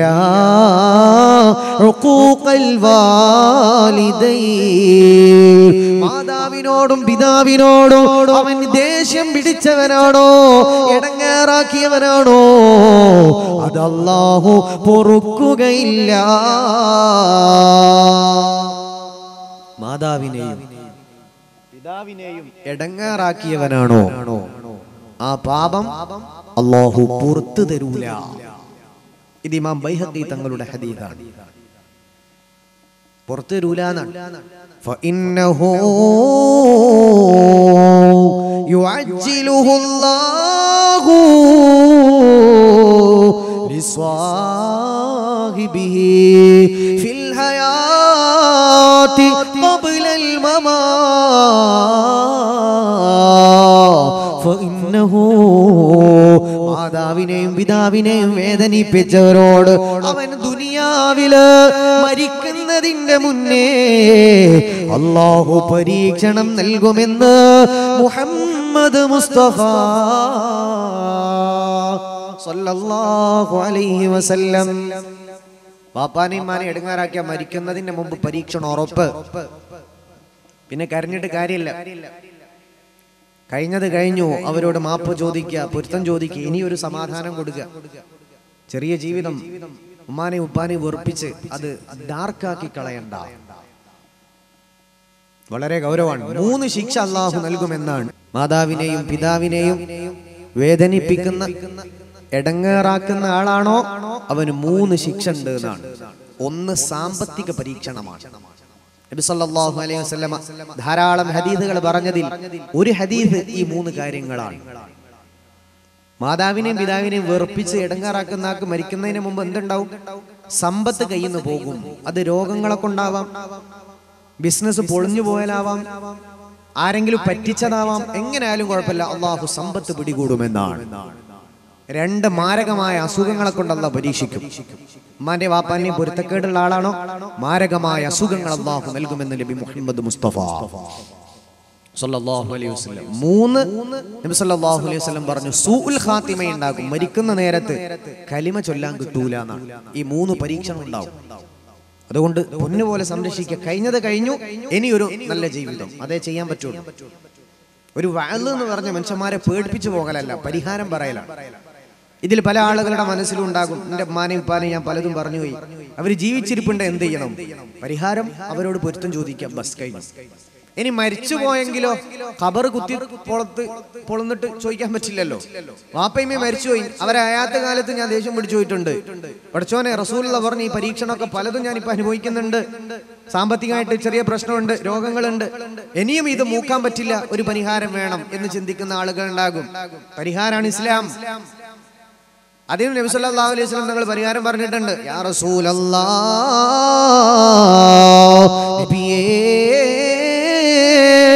എന്റെ മാതാവും പിതാവും അവർ മരിച്ചുപോയി നബിയേ. അവർ മരണപ്പെട്ടു നബിയേ. ഞാൻ അവരെ എടങ്ങേറാക്കിയിട്ടുണ്ട്. പൊരുത്തം ചോദിക്കാൻ മറന്നു? മുന്നേ. അവർ മരിച്ചു നബിയേ. പരിഹാരമുണ്ടോ? റസൂലുള്ള പറഞ്ഞു പരിഹാരമുണ്ട്. രണ്ട് കാര്യം ചെയ്തോ. ഒന്ന് വാപ്പാക്കും ഉമ്മാക്കും വേണ്ടി നന്മ ചെയ്തോ. രണ്ട് അവർക്ക് വേണ്ടി അല്ലാഹുവിനോട് തേടിക്കോ. ലഹു അങ്ങനെ ചെയ്യുന്നയാളെ ബാറൻ മാതാവിനോടും പിതാവിനോടും ഗുണം ചെയ്ത മോനെ എന്ന് രേഖപ്പെടുത്തുമെന്ന് മുഹമ്മദ് റസൂലുള്ള തിരുദൂതരേ എൻ മഹമൂദരേ ഒരു ജ്ഞാന പുകൾ പാടുമേ. തിരുദൂതരേ എൻ മഹമൂദരെ ഒരു ജ്ഞാന പുകൾ പാടുമേ. ആ പ്രവാചകന്റെ മനോഹരമായ വാക്കാടു. അപ്പാനെ ഉമ്മാനെ വേദന കൊടുത്തവന്റെ മൂന്നാമത്തെ പരീക്ഷണമേതാ അവന് സൂൽ ഖാത്തിമ. ഈമാനോടുകൂടിയുള്ള മരണം അല്ലാഹു നൽകില്ല. ലാ ഇലാഹ ഇല്ലല്ല പറഞ്ഞിട്ടു മരിക്കാൻ. ലാ ഇലാഹ ഇല്ലല്ല പറഞ്ഞു മരിക്കാൻ അള്ളാഹു അവൻ അവസരം കൊടുക്കൂല. അള്ളാഹു നമ്മളെ കാത്തിരക്ഷിക്കട്ടെ. അള്ളാഹു നമ്മളെ കാത്തിരക്ഷിക്കട്ടെ. അള്ളാഹു നമ്മളെ കാത്തിരക്ഷിക്കുമാറാകട്ടെ. അപ്പൊ നല്ല മക്കൾ ആരാന്ന് പഠിച്ചു. വാപ്പാനി ഉമ്മാനെയും പൊന്നുപോലെ നോക്ക. ولدنا سنهم كتيكا لتتنا وقضى ربك الا تعبدوا الا اياه وبالوالدين احسانا اما يبلغن عندك الكبر احدهما أو كلاهما فلا تقل لهما اف ولا تنهرهما وقل لهما قولا كريما اذا قران برنامج അവരോട് ചേന്ന് പറയരുത്. അവരോട് തട്ടിക്കയറരുത് കയർക്കരുത് അവർക്ക്. കാരുണ്യത്തിന്റെ റഹ്മത്തിന്റെ ചിറകുകൾ നിങ്ങൾ അവർക്ക് വിരിച്ചു കൊടുക്കണം വിടർത്തി നൽകണം. അവർക്ക് വേണ്ടി ദ്വാ ചെയ്യണം ഒരു പൊന്നുപോലെ സംരക്ഷിക്കണം എന്ന് പരിശുദ്ധ ഖുർആൻ നമ്മളോട് ഉണർത്തുകയാണ്. അപ്പൊ മാതാവിന്റെ പിതാവിന്റെ പൊരുത്തം നേടി ഇൻഷാ അള്ളാഹ് മുന്നോട്ട് പോകണം. അള്ളാഹ് തോഫി കരട്ടെ അപ്പൊ നല്ല മക്കൾ ആരാന്ന് പഠിച്ചു പഠിച്ചു. ഈ പറഞ്ഞ പോലെ മക്കൾ ജീവിച്ച വാപ്പാന്റെ ഇമ്മാന്റെ ജീവിതം എന്ത് രസമുണ്ടാവും? നമ്മൾ ഇന്നേ വരെ ഉപ്പാന്റെ കൈ പിടിച്ചൊരു മുത്തം നൽകിയിട്ടുണ്ടോ? ഒന്ന് ആലോചിച്ച് നോക്കി. നമ്മുടെ സ്വന്തം വാപ്പാക്ക് കൈ പിടിച്ചൊരു ഉമ്മ നമ്മൾ കൊടുത്തിട്ടുണ്ടോ? ഇല്ല. ഒന്ന് വീട്ടിൽ നിന്ന് പുറത്തു പോകുമ്പോ പാവാണ് ആ മനുഷ്യൻ ഒന്ന് കെട്ടിപ്പിടിച്ച് ഒരു ഹഗ് ചെയ്ത് ഒരു മുത്തം. അതുപോലെ മാതാ വീട്ടിൽ നിന്ന് പുറത്തു പോവാൻ ഉമ്മാന്റെ കൈ പിടിച്ച് ഒരു ഉമ്മ വെക്കണം. അതൊക്കെ മനുഷ്യന്മാരോട് കാണിക്കേണ്ട ഒരു വലിയ മര്യാദയും സ്നേഹവുമാണ്. നബി സല്ലല്ലാഹു അലൈഹി വസല്ലമ ഇങ്ങനെ ചുംബനം നടക്കാത്ത നടത്താത്ത ആളുകളെ സംബന്ധിച്ച്. കരുണയില്ലാത്തവനോട് അള്ള കരുണ കാണിക്കൂല എന്ന് പറഞ്ഞൊരു അനുഭവം. വളരെ മനോഹരമായി വിശദീകരിക്കുന്നുണ്ട്. നബി സല്ലല്ലാഹു അലൈഹി വസല്ലമ ഹസൻ റളിയല്ലാഹു അൻഹു ഉമ്മ വെക്കുമ്പോൾ ഹാബിസ് തങ്ങൾ പറയാണ് എനിക്ക് പത്ത് മക്കളുണ്ട് ഒറ്റാളെ ഞാൻ ഇതുവരെ ചുംബനം നടത്തിയിട്ടില്ല. അപ്പൊ റസൂലുള്ള പറഞ്ഞതാണ് കരുണുള്ളവനാണ് അള്ളാഹു കരുണ ചെയ്യുള്ളൂ. സ്നേഹവും സമാധാനവും കൊടുക്കുന്ന ആളുകളെ എങ്ങനെയൊക്കെയാണോ അങ്ങനെയൊക്കെ സന്തോഷം നൽകി ഇഷ്ടം നൽകുക അതുകൊണ്ട് ഒന്ന് മുതൽ പ്രാക്ടീസ് ചെയ്യുക. നാളെ മുതൽ മിനിമം ഇൻഷാ നമ്മുടെ സ്വന്തം ഉമ്മ ഉപ്പ അവരാണ് നമ്മുടെ ഏറ്റവും പ്രധാനപ്പെട്ട രണ്ടാളുകൾ അവർ ആ പ്രായത്തിൽ ഇടങ്ങേറായി കഷ്ടപ്പെട്ട് സംരക്ഷണം നൽകിയത് കൊണ്ടാണ് നമുക്ക് ആരോഗ്യം ഉണ്ടായത്. നമുക്കെല്ലാം വന്നത്. ആ ബോധം കൊടു നമുക്കുണ്ടാവുക തിരിച്ചു കൊടുക്കുക. ബാക്ക് തിരിച്ചു നൽകുക. ഒരു ദിവസം ഉമ്മ മരിച്ചു എന്ന് നമ്മൾ വാർത്ത കേൾക്കും. അല്ലെങ്കിൽ ഉപ്പ മരിച്ചു എന്ന വാർത്ത നമ്മൾ കേൾക്കേണ്ട ഒരു അവസ്ഥ വരും. നമുക്ക് ഹയാത്ത് ഉണ്ടെങ്കിൽ ജീവിതം ഉണ്ടെങ്കിൽ. പള്ളി മൈതാനിക്കാട്ടിൽ ഉമ്മാനെ ഉപ്പാന്റെ ഓർമ്മകൾ അടക്കം ചെയ്ത് മടങ്ങി വരുമ്പോൾ അപ്പോഴാണ് നമുക്ക് ബോധം ഉണ്ടാകുന്നത് ഉമ്മ ഊരിയിട്ട് പോയ കഴിച്ചിട്ട് പോയ ഉമ്മാന്റെ നമസ്കാര കുപ്പായം കാണുമ്പോ ഉമ്മാന്റെ ഇഷ്ടങ്ങളും സന്തോഷങ്ങളും ഒക്കെ ഇങ്ങനെ വീട്ടിൽ നിന്ന് കാണുമ്പോ ജീവിതകാലത്ത് ഞാൻ എന്റെ ഉമ്മാക്ക് കൊടുത്ത കണ്ണുനീര് എത്രയാണ് എന്ന ബോധം നമുക്ക് വരും. പിന്നെ കരഞ്ഞിട്ട് കാര്യമില്ല. നബിയു സല്ലല്ലാഹു അലൈഹി വസല്ലം. റസൂൽ സല്ലല്ലാഹു അലൈഹി തങ്ങളോട് ചോദിക്കപ്പെട്ടു. യാ നബിയേ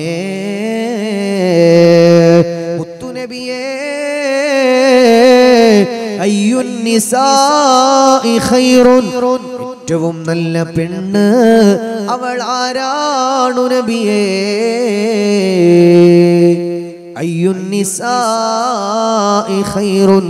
ഏറ്റവും നല്ല ഭാര്യ അവൾ ആരാണു നബിയേ? ഇമാം നസാഇ ഇതങ്ങൾ കൊണ്ടുവന്ന ഹദീസാണ്. റസൂല്ലാനോട് ചോദിച്ചത് ഏറ്റവും നല്ല വൈഫ് ആരാണ്? നബിയെ ഭാര്യ ആരാണ്? നമ്മൾ പ്രതീക്ഷിക്കുന്ന എക്സ്പെക്ട് ചെയ്യുന്ന മറുപടി എന്താ?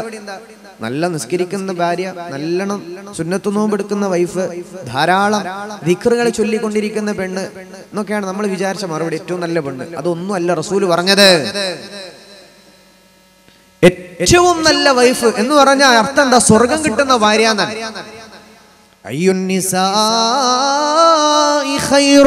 സ്വർഗം നേടുന്ന ഏറ്റവും സതുർത്തയായ ഭാര്യ അവൾ ആരാണു നബിയേ. സദ്വൃത്തയായ ഭാര്യ അവൾ ആരാണു നബിയെ. ഹബീബ് റസൂലുള്ളാഹി സ്വല്ലല്ലാഹു അലൈഹി വസല്ലമ തങ്ങൾ അവിടുന്ന് പറയുകയാണ്. മൂന്ന് സ്വഭാവമുള്ള പെണ്ണ. അവളാണ് ഏറ്റവും നല്ല പെണ്ണ്. ഹബീബുന ഷഫീഉന റസൂലുള്ളാ. സല്ലല്ലാഹു അലൈഹി വസല്ലം. ഏറ്റവും നല്ല പെണ്ണാരാ നിമിതങ്ങൾ തങ്ങൾ പറഞ്ഞു മൂന്ന് സ്വഭാവമുള്ള പെണ്ണാണ്. ആ മൂന്ന് സ്വഭാവം ഉണ്ടെങ്കിൽ സ്വർഗം ഉറപ്പ് എന്നാണ്. സ്വർഗം കിട്ടുന്ന പെണ്ണാരെന്നാ ചോദിച്ചത്? തങ്ങൾ പറഞ്ഞില്ലയോ? ഒന്നാമത്തെ സ്വഭാവം അല്ലതീ തസുറുഹു ഇദാ നളറ ഇലൈഹാ. ഏറ്റവും ഈമാനുള്ള പെണ്ണ് അവളുടെ ഏറ്റവും ഒന്നാമത്തെ സ്വഭാവം എന്താണെന്നറിയോ? അല്ലതീ തസുറുഹു ഇദാ നളറ ഇലൈഹാ. അവളെ ഭർത്താവ് അവളിലേക്ക് നോക്കിയ സമാധാനം കൊടുക്കുന്ന ഭർത്താവിന് സന്തോഷം കൊടുക്കുന്ന ഭർത്താവിന് ഹാപ്പിനെസ് നൽകുന്ന പെണ്ണാ. ലോകത്തെ ഏറ്റവും ഈമാനുള്ള സ്വർഗം കിട്ടുന്ന പെണ്ണാരാ നബിയെ? അല്ലത്തി തസുറുഹു ഇദാനറയിലേഹ ഓളെ ഭർത്താവ് ഓളെ മുഖത്തേക്ക് ഓളെ ശരീരത്തിലേക്ക് അവളിലേക്കൊന്ന് നോക്കിയാൽ നോക്കുമ്പോ തന്നെ ഭർത്താവിനൊരു സമാധാനം കൊടുക്കുന്ന നല്ല വാക്കുകളെ കൊണ്ട് ഭർത്താവിന് സന്തോഷം കൊടുക്കുന്ന പെണ്ണാണ്. നബി തങ്ങൾ പറഞ്ഞ ഹദീസ് അങ്ങനെയാണ്. അവളാണ് സ്വർഗം കിട്ടുന്ന വൈഫ് സ്വല്ലം അലൈഹി വസല്ലം. കല്യാണം കഴിഞ്ഞാൽ ഒരു പെണ്ണിന് ഏറ്റവും കൂലി കിട്ടുന്ന അമൽ ഫറല്ല നിസ്കാരാണ് എന്ന് നബി മുഹമ്മദ് മുസ്തഫ. ഒരു മനുഷ്യൻ ആണോ പെണ്ണോ ആവട്ടെ ആഹ്റത്തിൽ ഏറ്റവും കൂലി കിട്ടുന്ന അമൽ ഫർലായ നമസ്കാരം റമദാനിലെ ഫർൾ നോമ്പുവാണ് ഫർൾ ഇസ്ലാമിൽ അഞ്ച് കാര്യം ഈ അഞ്ച് കാര്യത്തിലാണ് ആഹ്റത്തിൽ ഏറ്റവും പ്രതിഫലം കിട്ടുന്നത് അതിൽ ഏറ്റവും ഒന്നാമത്തെ കാര്യം ഷഹാദത്ത് കലിമ. അതെല്ലാവരും ചൊല്ലിയ ആളുകളാണ്. ബൈബർ ബർത്ത് ജന്മനാ തന്നെ. അതുകൊണ്ട് ആ ഷഹാദ നമുക്ക് കിട്ടിയിട്ടുണ്ട്. പിന്നെ പറഞ്ഞ നിസ്കാരാണ് ഏറ്റവും കൂലി കിട്ടുന്നത്. കല്യാണം കഴിഞ്ഞ പെണ്ണുങ്ങളെ പറ്റി റസൂലുള്ള പറഞ്ഞത് കല്യാണം അങ്ങോട്ട് കഴിഞ്ഞാൽ പിന്നെ പെണ്ണിന് ഏറ്റവും ആ സ്ത്രീക്ക് ആ സഹോദരിക്ക് ആ ഉമ്മായിക്ക് ഏറ്റവും കൂടുതൽ കൂലി കിട്ടുന്നത് ഫർലായ നിസ്കാരവും റമലാനിലെ നോമ്പുമാണ്. അത് കഴിഞ്ഞ കല്യാണം കഴിഞ്ഞ മോളാണോ? അവൾക്ക് ഏറ്റവും കൂടുതൽ പ്രതിഫലം ലഭിക്കുന്നത് അല്ലതീ تسره إذا نظر ഇലൈഹാ. അവളെ ഭർത്താവിന് സമാധാനം നൽകലാണ്. അതാണ് ഏറ്റവും കൂലിയുള്ള പ്രതിഫലമുള്ള അമൽ. ഹബീബ് റസൂലുള്ള.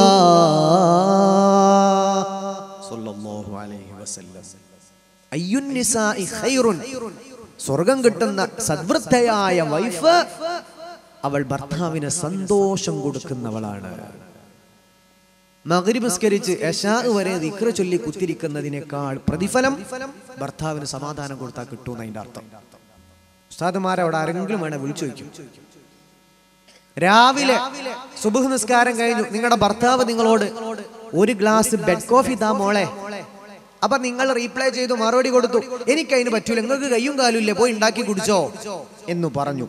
ഞാൻ ഇവിടെ ദിക്ർ ചൊല്ലാൻ ഇരിക്കാണ് മുസ്ഹഫുമായിട്ട് ഇരിക്കാണ് ഞാൻ ഖുർആൻ ഓതാൻ ഇരിക്കാണ് ഞാൻ ഇവിടെ ദിക്ർ ചൊല്ലാൻ ഇരിക്കാണ് നിങ്ങൾ വേണം ഉണ്ടാക്കി കുടിച്ചോ? ആ ദിക്ർ അള്ളാഹുവിന് പൊരുത്തമല്ല. അവിടെ ദിക്റിനല്ല കൂലി. ഭർത്താവിന് സന്തോഷം കൊടുക്കലാണ്. അതാണ് ഇസ്ലാമിന്റെ മസാല. ഭർത്താവ് ചായ ഉണ്ടാക്കി തരാൻ പറഞ്ഞു. അത് മൈൻഡ് ചെയ്യാതെ അവിടെ ഇരുന്ന് നൂറ് ഹത്തോതി ഒരു പ്രതിഫലം കിട്ടൂല. ശിക്ഷയാണ് എന്നാണ്. അത് ഗൗരവത്തോടെ പഠിച്ചു തെറ്റിദ്ധാരണകളൊക്കെ മാറ്റാം. കല്യാണം കഴിഞ്ഞാൽ പിന്നെ ഏറ്റവും കൂലി ഇതാണ്. ഭർത്താവിന് സമാധാനം കൊടുക്കൽ. അതേ പെണ്ണുങ്ങളോട് അല്ല ആവശ്യപ്പെട്ടിട്ടുള്ളൂ. ത്വലപുള്ളൂന്ന അതിന് മഹാന്മാര് പഠിപ്പിച്ചത്. ഓരോരുത്തരും ഗൗരവത്തോടൊന്ന് ചിന്തിക്കും ഒരു മാറ്റം നമ്മുടെ കുടുംബത്തിൽ ഉണ്ടാവണം. ആരാണ് നല്ല ഭർത്താവ് ഞാൻ പറയട്ടോ ശേഷം. ഇപ്പോ വൈഫുമാരെ സബ്ജക്റ്റ് ഒന്ന് കവർ ചെയ്യട്ടെ. അപ്പൊ ഏറ്റവും നല്ല പെണ്ണാരാണ് ഭർത്താവിന് സമാധാനം. വൈകുന്നേരങ്ങളെ ഭർത്താവ് കടലിൽ പോയി വന്നു അല്ലെങ്കിൽ പുറത്ത് അങ്ങാടി പോയി വന്നു ജോലി കഴിഞ്ഞ് വരുന്നു കോളിംഗ് ബെൽ അമർത്തി. നിങ്ങൾ പുറത്തേക്ക് വന്ന് നോക്കും. നിങ്ങൾക്ക് മനസ്സിലായത് പുതിയാപ്പിളയാണ് ബൈക്കിന്റെ സൗണ്ട് കേട്ടു കാറിന്റെ സൗണ്ട് കേട്ടു. നിങ്ങൾ ആദ്യം പുറത്തേക്ക് വരുമ്പോൾ നിങ്ങളുടെ ഭർത്താവിന്റെ മുഖത്തേക്കാണോ നോക്കുക. മുമ്പരെ കയ്യിലുള്ള പൊതിയിൽ കാണാൻ നോക്കുക. ഒന്നാലോചിച്ച് നോക്കി. പറഞ്ഞ സാധനം ഉണ്ടോന്ന് എടുങ്ങണ്ണിട്ട് നോക്കൂലേ? ഈ പൊതിയിൽക്ക് ചിക്കൻ ഉണ്ടോ? അത് മേടിച്ചിട്ട് കൊണ്ട് കയറിയാൽ മതി. അല്ലേ? ചിലപ്പോ ഡയലോഗ് അടിച്ചാൽ ഒന്ന് പൊട്ടു എന്നുള്ള പേടിയുള്ളവരും എന്ത് ഒന്നും മിണ്ടൂല. അല്ലേ? തിരിച്ചിട്ട് മുറുമുറുപ്പായിട്ട് അടുക്കളയ്ക്ക് പോകും. തന്നോ മേടിച്ചിട്ട് ആ അടുക്കളയെ കൊണ്ടുപോയി അത് ചെരിയും. നോക്കുമ്പോ പറഞ്ഞ സാധനം അതിലില്ലെങ്കിൽ തുടങ്ങി ഡയലോഗ് നിങ്ങളോട് സംസാരിക്കുന്നതല്ല അതുപോലെ പോത്തിനോട് സംസാരിക്കുന്നതാണ്. ഇത് പള്ളിക്കാട്ടിൽ ചെല്ലാൻ പറഞ്ഞ മാതിരിയാണ് നിങ്ങൾ. ഒരു മറുപടിയും ഇല്ല. അങ്ങനത്തെ നാല് ഡയലോഗും അടിച്ചു ഞങ്ങൾ അങ്ങ് പോയി ഫോൺ എടുത്തു. ഞാൻ ഒരു അമൽ അടുപ്പിച്ചു തരാം പൊന്നാനിക്കാരെ നിങ്ങൾക്ക് ഉമ്മമാരെ നിങ്ങൾക്ക് സ്വർഗം കിട്ടുന്ന ഒരു അമൽ. വേറെ ഒന്നും നിങ്ങൾ ചെയ്തില്ലെങ്കിലും നിങ്ങൾ ഈ പറഞ്ഞ പോലെ ലഭിതങ്ങൾ പറഞ്ഞ പോലെ ഒന്ന് ജീവിച്ചു നോക്ക്. ഒരു പേടിയും പേടിക്കേണ്ട സ്വർഗം കിട്ടും. അള്ളാഹു തൗഫീക്ക് തരട്ടെ. കല്യാണം കഴിഞ്ഞാൽ പിന്നെ നിങ്ങൾക്ക് സ്വർഗം കിട്ടുന്ന അമൽ ഭർത്താവിന് സമാധാനം കൊടുക്കലാണ്. അതില്ലാണ്ട് പിന്നെ എന്ത് അമലുണ്ടായിട്ടും കാര്യമില്ല എന്നാണ്. ഇതിനാണ് മസാല.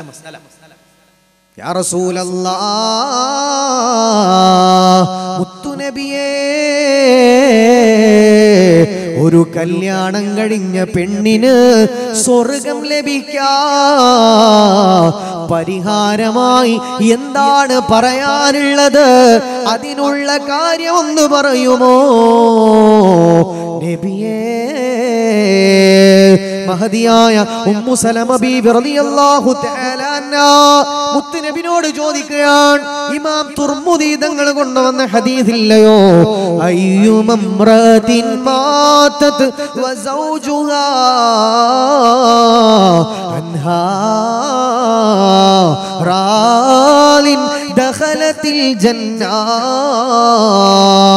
ഒരു പെണ്ണ് മരിച്ചു? ആ പെണ്ണിന് അവളുടെ ഭർത്താവുണ്ട്. ഭർത്താവിന് പെണ്ണിന്റെ കാര്യത്തിൽ തൃപ്തിയുണ്ട്.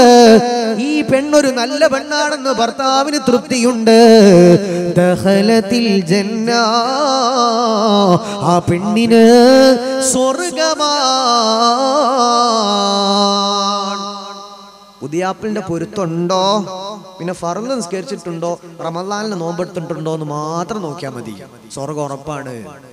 നബി തങ്ങൾ പറഞ്ഞ ഹദീസുണ്ട് ഒരു പെണ്ണ് നാല് കാര്യം ചെയ്താൽ അവൾക്ക് സ്വർഗം ഉറപ്പാണ്.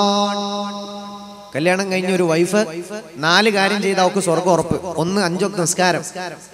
രണ്ട് റമലാനിലെ നോമ്പ്. മൂന്ന് സ്വന്തം ശരീരം അവൾ സംരക്ഷിച്ചു. നാല് ഭർത്താവിന്റെ പൊരുത്തം നേടി. എന്നാ ജന്ന. അവൾക്ക് സ്വർഗമുറപ്പാണ് ഇത് നാലെണ്ണം. അത് മതി സ്വർഗം കിട്ടാനെന്നാണ് അല്ല തോഫീക്കരട്ടെ നൂറ് ഹത്തം തീർത്ത പെണ്ണാണ്. പുതിയാപ്പിനോട് എന്നും ഡയലോഗ് ഈ ഹത്തുമ കൊണ്ട് ആഹ്റത്തിൽ രക്ഷ എന്നാണ് മസല അങ്ങനെയാണ് ദീന് പഠിപ്പിക്കുന്നത് അങ്ങനെയാണ്. പുതിയാപ്പിളിനോട് സമാധാനവും സന്തോഷവും. അതെങ്ങനത്തെ പുതിയാപ്പിളാന്ന് ഞാൻ ഇനി പറയാൻ പോകുന്നേ ഉള്ളൂ. പുതിയാപ്പിള ഒരു തല കുത്തനുള്ള മനുഷ്യനാണ്. പെണ്ണിങ്ങനെ അങ്ങനെയൊന്നുമില്ല. ഇൻഷാ ആര് നല്ല ഭർത്താവ് എന്ന് ഭർത്താവ് നന്നായിരിക്കണം. ഇതൊരു വൺ വേ അല്ലേ? ചില സ്ഥലത്ത് റോഡ് വൺ വേ ഉണ്ട്. ഒരു വൺ വേ പരിപാടിയല്ല ഈ കല്യാണം? എനിക്കെന്തോ എന്റെ കെട്ടികൾ ഇങ്ങനെ അനങ്ങാണ്ട കുത്തിരിക്കണമെന്നല്ല ആണിനും പെണ്ണിനും ഹറാമ് ഹറാമാണ്. രണ്ടുപേരും നന്നായാലേ കുടുംബത്തിൽ വർക്കത്തുണ്ടാവും. ഓൾ അങ്ങോട്ട് തിരിഞ്ഞിടുന്ന ഇപ്പുറത്തേക്ക് തിരിഞ്ഞ് ചാറ്റി ചെയ്യുന്ന മനുഷ്യന്മാര്. അല്ലെ? ഓളെ ഫോണൊക്കെ ചെക്ക് ചെയ്തിട്ട് കുഴപ്പമൊന്നുമില്ല. ആ ഉറങ്ങിക്കോന്ന്. ഓളെ ഉറങ്ങിയിട്ട് ഇപ്പുറത്തെ തിരിഞ്ഞിട്ട് എന്ത് ചെയ്യാ? ഫോണെടുത്തിട്ട് ചാറ്റ് ചെയ്യാം. നമുക്ക് എന്തോ ആവാം? കിട്ടിയൊക്കെ ഒന്നും ആവാൻ പറ്റൂല. ഇങ്ങനെയല്ല ഇസ്ലാം. രണ്ടുപേർക്കും ഹറാമ് ഹറാമ് തന്നെയാണ്. ഒരുമിച്ച് പരസ്പരം മനസ്സിലാക്കി പോകും അത്രേ പറ്റുള്ളൂ. അതുകൊണ്ട് നല്ല വൈഫുമാരാകാനുള്ള പരിശ്രമം ഇന്ന് മുതൽ ആരംഭിച്ചോ? സമാധാനം കൊടുക്കാൻ. വൈകുന്നേരം ഭർത്താവ് വീട്ടിലേക്ക് വരുമ്പോൾ മൂപ്പര് എന്താണോ നിങ്ങൾക്ക് വേണ്ടി കഷ്ടപ്പെടുന്നത്? ആ ഒരു ബോധം ഉണ്ടാവണം. എന്നും ചിക്കനും മട്ടനും മേടിച്ചിരാൻ പറ്റില്ല. മനുഷ്യനാണ് ജോബാണ്.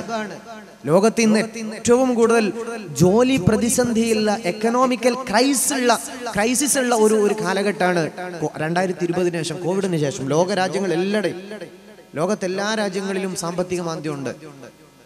കറക്റ്റ് സാലറി കിട്ടാത്ത പ്രശ്നം മനുഷ്യന്മാരുടെ അടുത്ത് ക്യാഷ് പ്രശ്നം ഇതെല്ലായിടത്തും അനുഭവിക്കുന്നതാണ്. അപ്പൊ പണ്ട് ഇങ്ങനെ ഒന്നും അല്ലല്ലോ ഇപ്പൊ ആകെ മാറിയല്ലോ. എന്നും ഒരുപോലെ നമ്മൾക്ക് ട്രീറ്റ് ചെയ്യാൻ ഒരു പക്ഷേ മനുഷ്യനാണ് പറ്റിയെന്നിരിക്കില്ല. അത് അഡ്ജസ്റ്റ് ചെയ്യാൻ മനസ്സിലാക്കാം ഭർത്താവ് ജോലിയൊക്കെ കഴിഞ്ഞു വരുമ്പോ ആദ്യം തന്നെ മൂപ്പര് സലാം പറഞ്ഞ സലാമൊക്കെ മടക്കി. എന്താണോ തന്നത് മേടിച്ച് നിങ്ങൾ പറയണം നിങ്ങൾ പെട്ടെന്ന് ഫ്രഷ് ആയിട്ട് കുളിച്ച് നിസ്കാരം ഉണ്ടെങ്കിൽ നിസ്കരിച്ചിട്ട് വാ. ഞാൻ ചായയും പലഹാരമൊക്കെ ആക്കി വെക്കാം. ചോറെങ്കിൽ ചോറ് എന്താണോ ആ നേരത്ത് പുയ്യാപ്പിള തിന്നുന്നത് ആക്കി വെക്കാന്ന് പറയണം. എന്ത് രസം ഉണ്ടാകും എന്ത് മനോഹരേക്കും കുടുംബം.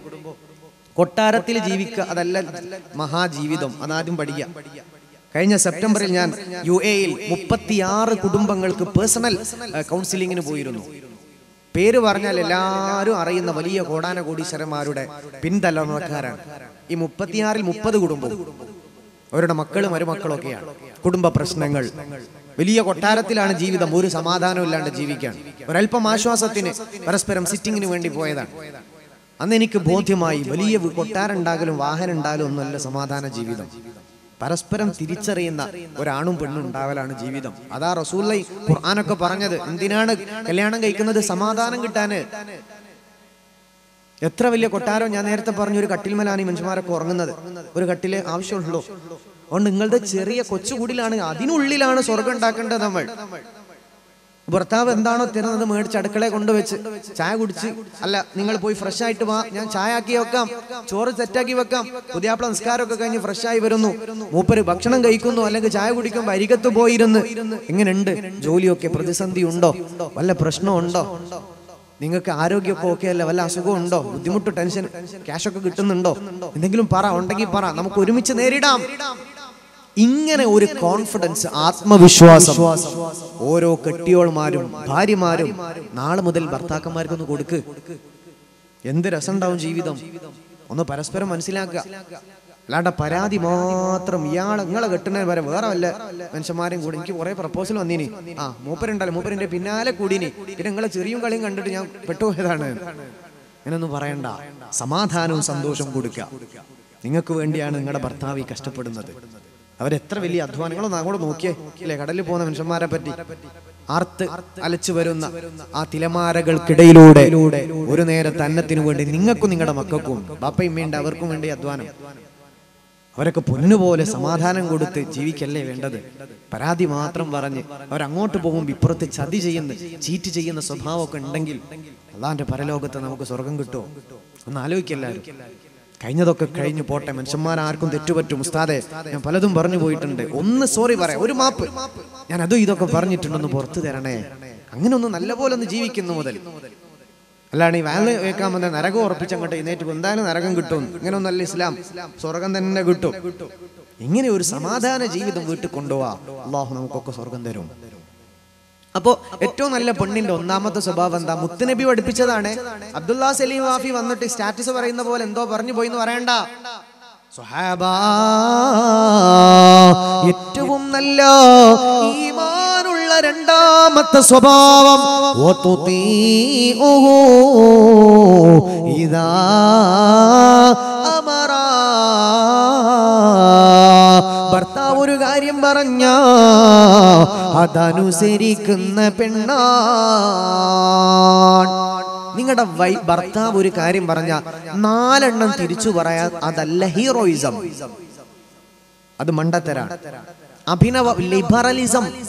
അത് ഒരു പരിധിക്കപ്പുറം നമ്മുടെ മനസ്സിൽ കയറിയ കുടുംബം നഗരും കെട്ടിയോൾ നീ നിന്റെ ഇഷ്ടത്തിന് ജീവിച്ചോ ഞാൻ എന്റെ ഇഷ്ടത്തിന് ജീവിക്കാം. അതൊക്കെ വലിയ പറയാൻ സുഖാണ്. കുറച്ച് കാലം അങ്ങോട്ട് കഴിഞ്ഞാൽ രണ്ടു പേർക്കും അങ്ങോട്ട് മടുത്തു പോകും. അതാ മനസ്സിലാക്കേണ്ടത്.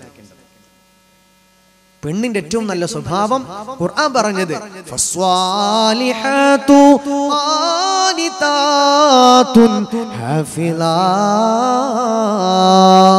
ഏറ്റവും നല്ല സ്വാലിഹത്തായ പെണ്ണ് അവൾ അനുസരണയുള്ളവളാണ്. ആരെ? കെട്ടിയോനെ ഭർത്താവിനെ. സുന്നത്ത് നോമ്പുകാരിയായ പെണ്ണാണ്. ഭർത്താവ് ഉച്ചയ്ക്ക് വന്നു മോളെ. എനിക്കൊരു അത്യാവശ്യമുണ്ട്. ഒരു കാര്യമുണ്ട്. അപ്പൊ പെണ്ണ് പറഞ്ഞു ഇക്കാക്ക ഞാൻ നോമ്പുകാരിയാണ്. അപ്പൊ ഭർത്താവ് പറഞ്ഞു മോളെ നോമ്പ് മുറിക്കണം. അപ്പൊ പെണ്ണിന് നോമ്പ് മുറിക്കൽ നിർബന്ധമാണ്. അത് മുറിച്ചില്ല എങ്കിൽ ആ നോമ്പ് നോൽക്കൽ ഹറാം. നോമ്പല്ലേ? ആ നോമ്പാണ്. അല്ലയും റസൂലും പറഞ്ഞ എന്താണ്? നിങ്ങളെ പുതിയാപ്പിള സുന്നത്ത് നോമ്പ് മുറിക്കാൻ പറഞ്ഞാൽ മുറിക്കൽ നിർബന്ധം. പിന്നെ ചോദ്യമല്ല റമലാനിൽ പറഞ്ഞാൽ കേൾക്കണ്ട കാരണം റമലാനിലെ നോമ്പ് ഫറലാണ് ഫറലായ കാര്യത്തിനെതിരെ പറഞ്ഞാൽ അത് ചെയ്യണ്ട. ഹറാമ് ചെയ്യാൻ പറഞ്ഞാൽ അതും ചെയ്യണ്ട. ബാക്കി ഭർത്താവിനെ എന്നാണ് പറയാ അനുസരിക്കുന്നത്. അത് കല്യാണം കഴിഞ്ഞാൽ പിന്നെ നിർബന്ധമാണ് നിസ്കരിക്കൽ നിർബന്ധാണ്. കള്ളു കുടിക്കൽ ഹറാമാണ്. ഭർത്താവിനെ അനുസരിക്കാണ്ടെങ്കിൽ ഹറാമാണ്. വളരെ ഗൗരവത്തോടെ ഉമ്മമാര് പഠിക്കാം ഭർത്താവ് ഒരു കാര്യം പറഞ്ഞാൽ അതിനെ ധിക്കരിക്കൽ ഹറാം. നിങ്ങളുടെ പിതാവ് മരിച്ചു കിടക്കാണ്. നിങ്ങളെ ഭർത്താവ് പറഞ്ഞു മോളെ അങ്ങോട്ട് പോണ്ട. അങ്ങോട്ട് പിന്നെ പോകൽ ഹറാമാണ് അത് റസൂലുള്ളാന്റെ കാലത്തുണ്ടായ ഒരു സംഭവത്തിലൂടെ ഇമാമിങ്ങൾ പഠിപ്പിക്കുകയാണ്. ലോകത്തൊരു നല്ല ഭർത്താവ് പോണ്ടെന്ന് പറയൂല. അത് വേറെ കാര്യം. അല്ലേ? അന്തസ്സുള്ള ഭർത്താവ് പോണ്ടെന്നറിയോ? ഒരാളും പോണ്ടെന്നറിയോ? ഇനി ഒരുത്തൻ അങ്ങോട്ട് പറഞ്ഞു. അപ്പൊ പിന്നെ പെണ്ണ് പോകൽ ഹറാമാണ്. അതനുസരിക്കണോന്നാണ് ഇത് പറയുന്നത് എന്താണ്? കെട്ടിയോളെ വാപ്പ മരിച്ച എങ്ങനെങ്കിലും ചങ്ങലക്കിട്ട് നിർത്താനല്ല ഈ പറയുന്നത്? ഭർത്താവിന്റെ മഹത്വം പഠിപ്പിക്കാനാണ് ഞാൻ ഇത് പറഞ്ഞത് ഉമ്മമാരൊക്കെ ഇതൊന്ന് പഠിക്കുക അത്രക്കും ബാധ്യതയാണ് ഭർത്താവിന്റെ ശരീരം മൂർത്താപൂന്തൽ തായ വരെ ചലം നിറഞ്ഞു. ആ ചലം ഒരു വൈഫ് നാവ് കൊണ്ട് ഇങ്ങനെ ഒപ്പിയെടുത്തു. എന്നാലും ഭർത്താവിനോടുള്ള ബാധ്യത തീരില്ല എന്ന് നബി മുഹമ്മദ് മുസ്തഫ ഇതൊന്ന് പഠിക്കാം ഗൗരവത്തോടെ ജീവിക്കാം. മൂന്ന് ഏറ്റവും നല്ല പെണ്ണിന്റെ മൂന്നാമത്തെ സ്വഭാവം അവൾ ശരീരം സംരക്ഷിക്കുന്നവളാണ്. ദ്യാപ്പിള ഗൾഫിൽ പോയി പുറത്തേക്ക് പോയി ചീറ്റ് ചെയ്യാത്തവളാണ് എന്നതിന്റെ അർത്ഥം. വഞ്ചിക്കാത്തവളാണ്. ഈ മൂന്ന് സ്വഭാവമാണ് ഏറ്റവും നല്ല പെണ്ണ്. അതുണ്ടോ? നാളെ ആഹ്റത്തിൽ നിങ്ങൾ ഒരു പേടിയും പേടിക്കേണ്ട സ്വർഗം ഉറപ്പാണ്. അള്ളാഹു സ്വർഗം തരട്ടെ. ഈ ക്വാളിറ്റിയുള്ള ഉമ്മമാരാവാം.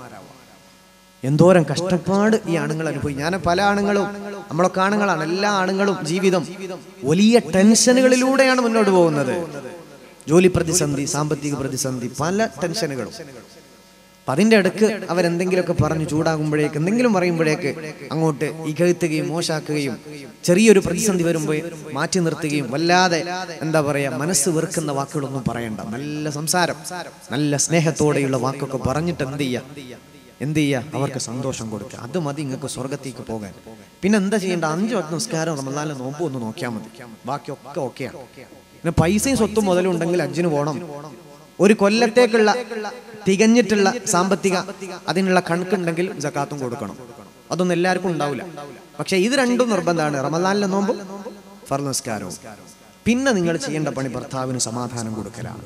അത് ചെയ്ത് ജീവിച്ചാൽ നിങ്ങൾക്ക് ആഹ്റത്തിൽ പിന്നെ വിരൽ കടിക്കേണ്ടി വരില്ല. അല്ലാണ്ട് ദിക്റും നിസ്കാരവും സുന്നത്ത് നിസ്കാരവും സ്വലാത്തും ഉണ്ടെന്ന് പറഞ്ഞിട്ട് ആഹ്റത്തിൽ രക്ഷപ്പെടാൻ പറ്റില്ല.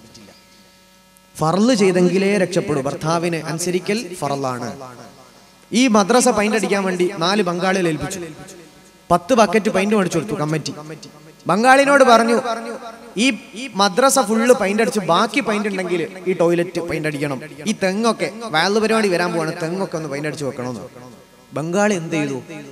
പത്ത് ബക്കറ്റ് പൈന്റ് ഉപയോഗിച്ച് ഫുള്ള് തെങ്ങും പൈന്റ് അടിച്ചു.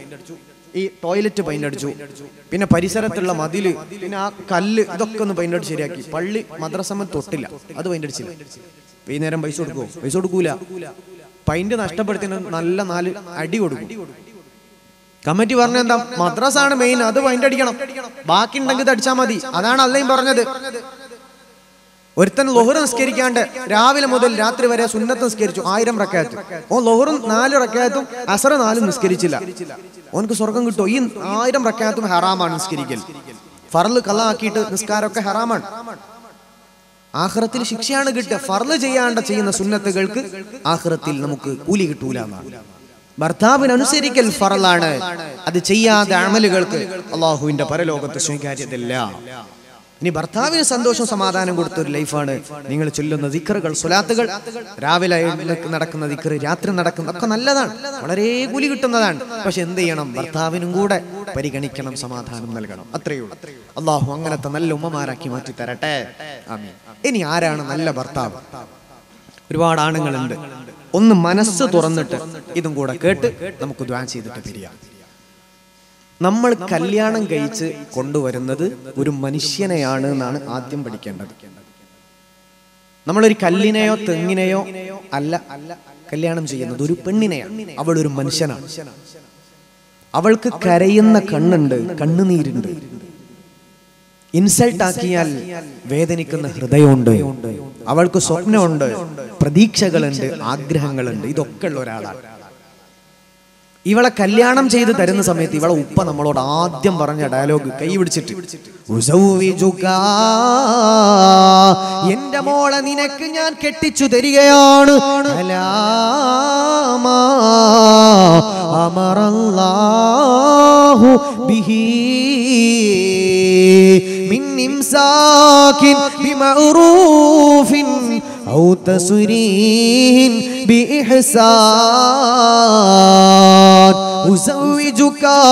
എന്റെ മോളെ നിനക്ക് ഞാൻ തരികയാണ് ഇതെന്തിനാ തരുന്നത് ഈ പൊന്നുമോൾ എനിക്ക് ഭാരമായത് കൊണ്ടല്ല നാട്ടുകാര് പറഞ്ഞതുകൊണ്ടല്ല ആളുകൾ പറഞ്ഞത് കൊണ്ടല്ല ഇന്ത്യൻ നിയമമായതുകൊണ്ടല്ല. അലാമാ അമറല്ലാഹു ബിഹി. നിന്നെയും എന്നെയും പടച്ച അല്ലാഹു പറഞ്ഞത് കൊണ്ടാണ് എന്ന് പറഞ്ഞിട്ടല്ലയോ ഓരോ വാപ്പയും അവളുടെ മക്കളെ അവരുടെ മോളെ നമുക്ക് കെട്ടിച്ചു തന്നത്. എന്റെ മോളെ നിനക്ക് ഞാൻ കല്യാണം ചെയ്തത്?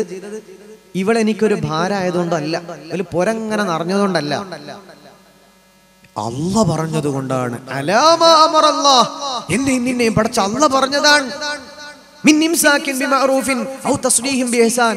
ഓളോട് നല്ലപോലെ പെരുമാറണം. അവർക്ക് സന്തോഷം മാത്രമേ നൽകാവൂ. അവളെ വേദനിപ്പിക്കരുതേ ഇൻസൾട്ട് ചെയ്യരുതേ ഇറക്കി വിടരുതേ ഇല്ലാ കഥ പറയരുതേ ഇനി നിനക്ക് പറ്റുന്നില്ല എങ്കിലോ അവളെ ഇടിക്കണ്ട തൊടിക്കണ്ടോ ഔ തസുരീ ബിഹ്സാൻ. അവളെ നല്ല പോലെ എനിക്ക് തന്നെ തിരിച്ചു തന്നോ എന്ന് പറഞ്ഞിട്ടാണ് ഒരു പിതാവ് മോളെ നമുക്ക് തന്നിട്ടുള്ളത്. ഉത്തരവാദിത്തമാണ്. രണ്ട് കല്യാണം കഴിഞ്ഞ പെണ്ണിനെ ഒരിക്കൽ കരയിപ്പിച്ചാൽ ആഹ്റത്തിൽ നമ്മൾ കുടുങ്ങും. ഇത് മസലയാണ്. കല്യാണം കഴിഞ്ഞ നമ്മുടെ ഭാര്യനെ ഒരിക്കൽ കരയിപ്പിച്ചാൽ. എന്നും കരയിപ്പിക്കുന്ന മനുഷ്യന്മാർക്കൊന്നും സ്വർഗം കിട്ടൂല എന്നാണ് പിന്നെ ഞാൻ പള്ളിയിൽ എല്ലാം കുത്തിന്ന് കാര്യമില്ല. കല്യാണം കഴിഞ്ഞാൽ പിന്നെ ഓൾക്ക് സമാധാനം കൊടുക്കൽ നമുക്ക് വാജിബായ കാര്യം നിർബന്ധമായ നമ്മുടെ ബാധ്യതകൾ ഉണ്ട് അവരോട്. അത് ചെയ്യാതെ വേറെ എന്തുണ്ടായാലും കാര്യമില്ല. വളരെ പ്രധാനമാണ്. ഒരു മനുഷ്യന്റെ ജീവിതം നമ്മൾ നശിപ്പിച്ചു കളയരുത്. കല്യാണം കഴിക്കുക അവളെ പൊന്നു പോലെ സംരക്ഷിക്കാം ഒരു നിലക്കും അവളെ പറ്റുന്നില്ല എങ്കിൽ ഓളെ നല്ല പോലെ പറഞ്ഞേക്കാം. തൊലാക്ക് എന്നൊരു പരിപാടി ഉണ്ട് ഒരു നിലക്കും പറ്റുന്നില്ല. ഓളെ ഇടിക്കുക ഓളെ കൊല്ലാൻ നോക്കുക ശ്വാസം മുട്ടിക്കുക ഓളെ കഴുത്ത് പിടിച്ച് വലിക്കുക ഓളെ ഒറ്റ ഉന്തുന്തുക എന്നിട്ട് തല പോയി അവിടെ ഇടിക്കുക. ഇതൊക്കെ സഹിച്ചൊരു പാവം ഇങ്ങനെ വീട്ടിൽ കൂടുക. നമ്മളിങ്ങനെ അന്തസ്സിൽ ആ പള്ളിയിലൊക്കെ അവിടെ പോയി ഒന്നാമത്തെ സഫിൽ അങ്ങോട്ട് ഇരുന്ന് ആമീനൊക്കെ അവിടെ നൊനോളിച്ചൂടുക ഒരു കാര്യമില്ല സമാധാനം കൊടുക്കേണ്ടവർക്ക് സമാധാനം കൊടുക്കണം. അല്ല മേലെ കാണുന്നുണ്ടല്ലോ. ആൾക്കാരെ മുമ്പിൽ അഭിനയിച്ചിട്ട് കാര്യമില്ല. നമ്മുടെ വീടിന്റെ ഉള്ളിൽ നമ്മൾ എങ്ങനെയാണെന്ന് വളരെ പ്രധാനമാണ്. കഴിഞ്ഞത് കഴിഞ്ഞു ഇനി ഒരു മാറ്റം. അതിനാണ് ഈ പറയുന്നത്. എല്ലാവർക്കും ഇത് ബന്ധിപ്പിക്കാൻ പറ്റുന്ന വിഷയമാണ്. ഒരു മാറ്റം. അറ്റാക്ക് വന്ന് ആക്സിഡന്റ് വന്ന് കോമാ സ്റ്റേജിൽ കിടക്കുന്ന എത്രയെത്ര എത്ര മനുഷ്യന്മാർ ഭൂമിയിലുണ്ട്. ഓരോരുത്തരും മനസ്സിലാക്കുക അള്ളാഹു നമുക്ക് ഇതൊക്കെ തിരിച്ചറിഞ്ഞ് ഒരു മാറ്റം നമ്മുടെ കുടുംബത്തിൽ അള്ളാഹു നമുക്കൊക്കെ തരട്ടെ. നമ്മുടെ കുടുംബത്തിൽ അള്ളാഹു വലിയ മാറ്റം തരട്ടെ.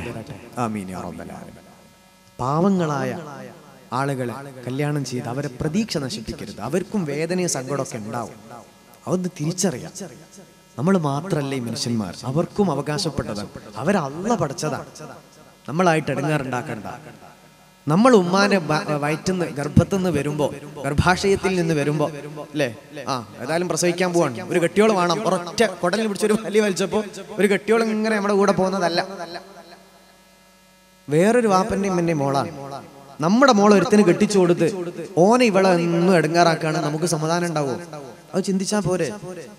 നമുക്കൊരു മോളുണ്ട്. ഇവളെ കെട്ടിച്ചു കൊടുക്കണം ഒരു പ്രായം കഴിയുമ്പോ ഒരുത്തൻ കെട്ടിക്കൊണ്ട് ഇവളെ എന്നും തല്ലുകയാണ്. എന്തേ? സ്വർണല്ല എന്ന് പറഞ്ഞിട്ട്. ഒരു പാവം പോലും കൊടുക്കാൻ പറ്റാത്ത അവസ്ഥയിലേക്ക് അല്ല നമ്മൾ ആക്കി കഴിഞ്ഞാൽ അല്ലേ? സ്വന്തം വൈഫിനോട് ഓളെ സ്വർണാഭരണത്തെ ഭംഗിയൊക്കെ പറ്റി മോശം പറയുന്ന ആളുകൾ ചിന്തിക്കുക നമുക്ക് പെൺകുട്ടി ഉണ്ടായി. ആ പെൺകുട്ടിനെ വേറൊരു തറവാട്ടിക്ക് പറഞ്ഞേക്കാനുള്ളതാണ് വേറൊരു പുതിയാപ്പിളക്ക് കൊടുക്കാനുള്ളതാണ്. നമ്മുടെ മോളെ പൊന്നുപോലെ വളർത്തിയ മോക്ക് എന്നും ഇടങ്ങേറുള്ള ജീവിതാണ് ആ പെണ്ണിന്റെ ഭർത്താവ് നൽകുന്നെങ്കിൽ വാപ്പന്മാർക്ക് സഹിക്കാൻ പറ്റുമോ? ഒരാൾക്കും സഹിക്കാൻ പറ്റില്ല. കമാ തദീനു തുദാ. കൊടുക്കുന്നതെല്ലാം അത് തിരിച്ചു കിട്ടുമെന്നാണ്. അത് പ്രകൃതിയുടെ നിയമമാണ്. അത് ഇസ്ലാമിന്റെ നിയമമാണ്. ഒന്നുമേ അത് ഏകപക്ഷീയമല്ല. ചെയ്യുന്നതൊക്കെ തിരിച്ചു കിട്ടുന്ന. അല്ലാണ്ട് അല്ല മരിപ്പിക്കൂല. പെണ്ണ് കെട്ടി അവളെ എടുങ്ങാറാക്കിയോ? ആ വേദന നമ്മൾ അനുഭവിക്കും. ഉറപ്പാണ്. ഇത് മനുഷ്യന്മാരെ വിഷയത്തിലാണ് അള്ളാഹുവിനോട് ഒരാൾ തെറ്റ് ചെയ്താൽ അള്ളാഹിനോട് അങ്ങ് കരിഞ്ഞു പറഞ്ഞാൽ മതി. നമ്മൾ എത്ര തെറ്റ് ചെയ്താൽ അള്ളാഹ്ക്കൊരു ഇതൊന്നുമില്ല. അല്ലേ? അള്ളാഹിന്റെ അക്കൗണ്ടിൽ നിന്ന് പൈസ ലീക്കായി പോകില്ല നമ്മൾ കുറെ നിസ്കരിച്ച് അള്ളാഹിന്റെ അക്കൗണ്ടൊക്കെ ഇങ്ങനെ ക്രെഡിറ്റ് ആവില്ല.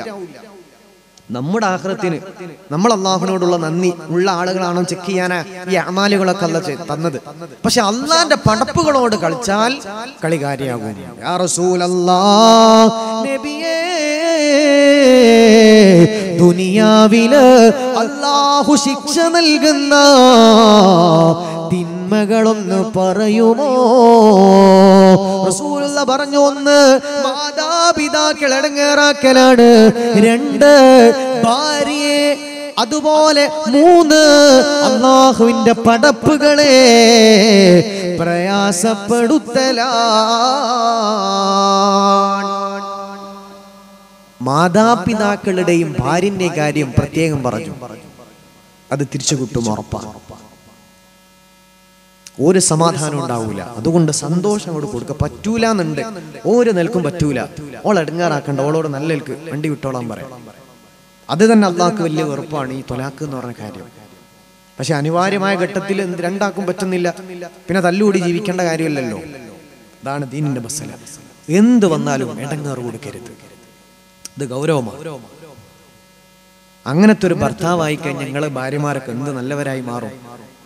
ഇങ്ങനെ ഒക്കെ പോലെ അവളോട് നിന്നിട്ടും അവൾ ചീറ്റ് ചെയ്യുന്നുണ്ടെങ്കിൽ ആഹ്റത്തിൽ അവൾക്ക് നരകം ഉറപ്പാണ്. അള്ളാഹു കാത്തിരിക്കട്ടെ.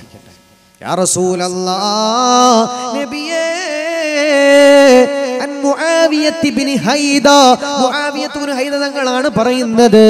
കല്യാണം കഴിഞ്ഞു നബിയേ ഞാൻ എന്റെ ഭാര്യയോട് ചെയ്യേണ്ട കടമകൾ ഏതാ? കല്യാണം കഴിഞ്ഞു. ഞാൻ എന്റെ വൈഫിനോട് ചെയ്യേണ്ട ബാധ്യതകൾ എന്തൊക്കെയാണ്? കല്യാണം കഴിഞ്ഞു? എന്റെ ഭാര്യനോടുള്ള ബാധ്യതകൾ അത് പറയുമോ നബിയേ? അലൈഹി തങ്ങൾ പറഞ്ഞു അഞ്ച് ബാധ്യതകളുണ്ട്.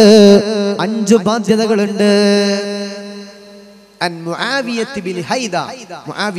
തങ്ങളാണ് ഇമാം ബൈഹത്തെ തങ്ങൾ കൊണ്ടുവന്ന ഹദീസാണ്. അഞ്ചു ബാധ്യത. നീ ഭക്ഷണം കഴിച്ചാൽ അവൾക്ക് ഭക്ഷണം കൊടുക്കണം. അതെല്ലാരും ചെയ്യുന്നുണ്ട്. ഭക്ഷണത്തിന് കുഴപ്പം നമ്മുടെ വീട്ടിലില്ല. അല്ലേ? രണ്ട്.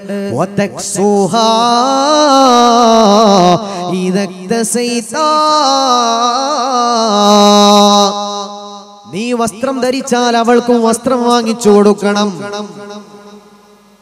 രണ്ടാമത്തെ ബാധ്യത അവൾക്ക് വസ്ത്രം വാങ്ങിച്ചു കൊടുക്കണം. ആവശ്യത്തിനുള്ള വസ്ത്രം. അതിലൊന്നും ഒരു പിശുക്ക് കാണിക്കണ്ടെന്ന്.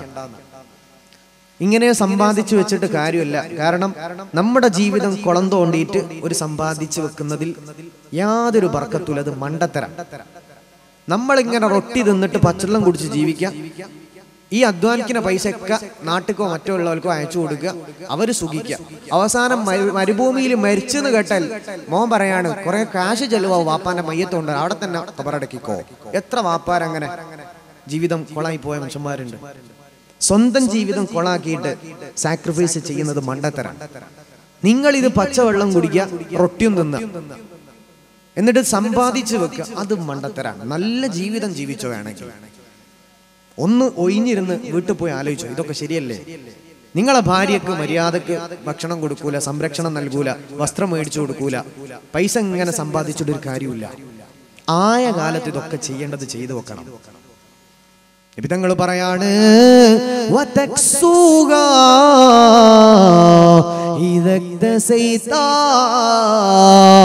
അവൾക്ക് വസ്ത്രം കൊടുക്കണേ. നിങ്ങൾ വസ്ത്രം ഉടുത്താൽ എല്ലാവരും വസ്ത്രം ഇട്ടിട്ടുണ്ട്. വൈഫിനും വസ്ത്രം കൊടുക്കണം. ഇതാണ് രണ്ടാമത്തത്. മൂന്ന്.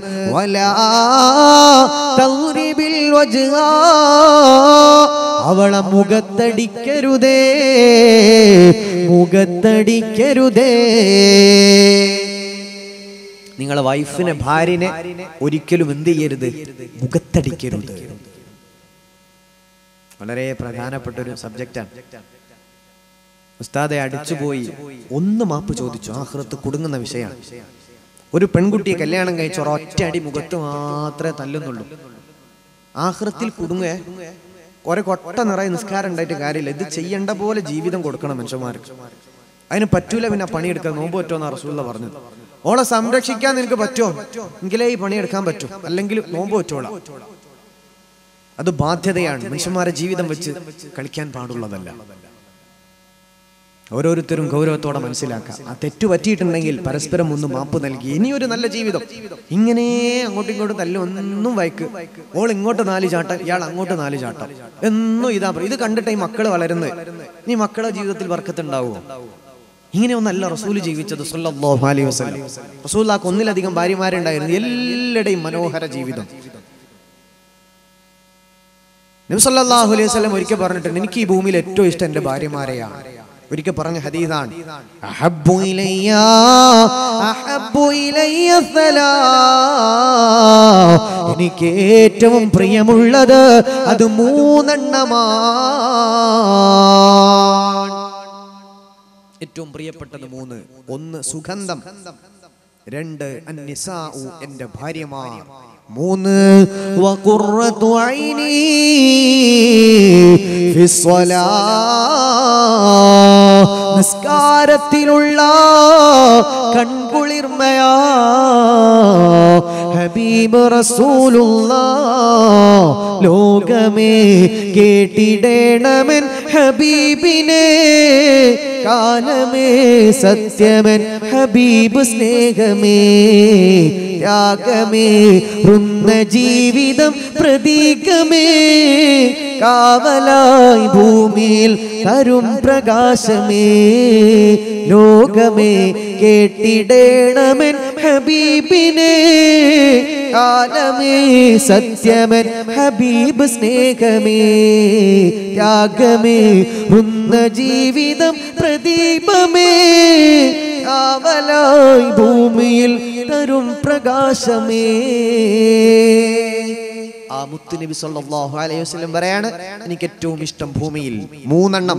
ഒന്ന് സുഗന്ധം രണ്ട് എന്റെ ഭാര്യമാർ നമ്മളോട് ചോദിക്കുകയാണ് നിങ്ങൾക്ക് ഏറ്റവും ഭൂമിയിൽ ഇഷ്ടമുള്ള കാര്യം എന്താണ്? നമ്മൾ എന്താ പറയാ? നമ്മൾ എന്താ പറയാ? ഒന്ന് ചിന്തിച്ചു നോക്കി. നമ്മൾ നമ്മളോട് ചോദിച്ചാൽ ഉത്തരം കിട്ടില്ല പറയണ്ട. നിങ്ങൾക്ക് ഏറ്റവും ഭൂമിയിൽ ഇഷ്ടമുള്ള കാര്യം സ്വന്തം ഭാര്യ എന്നാർക്കെങ്കിലും മറുപടി ഉണ്ടോ? ഒന്ന് ചിന്തിക്ക്. അങ്ങനെ ആവണമെന്നാണ് വിധങ്ങൾ അങ്ങനെയാണ്. ഇരുപത്തിയഞ്ചാമത്തെ വയസ്സിൽ കല്യാണം കഴിച്ചത് നാൽപ്പത് വയസ്സുകാരി. ഭംഗിയല്ല ജീവിത വിജയം.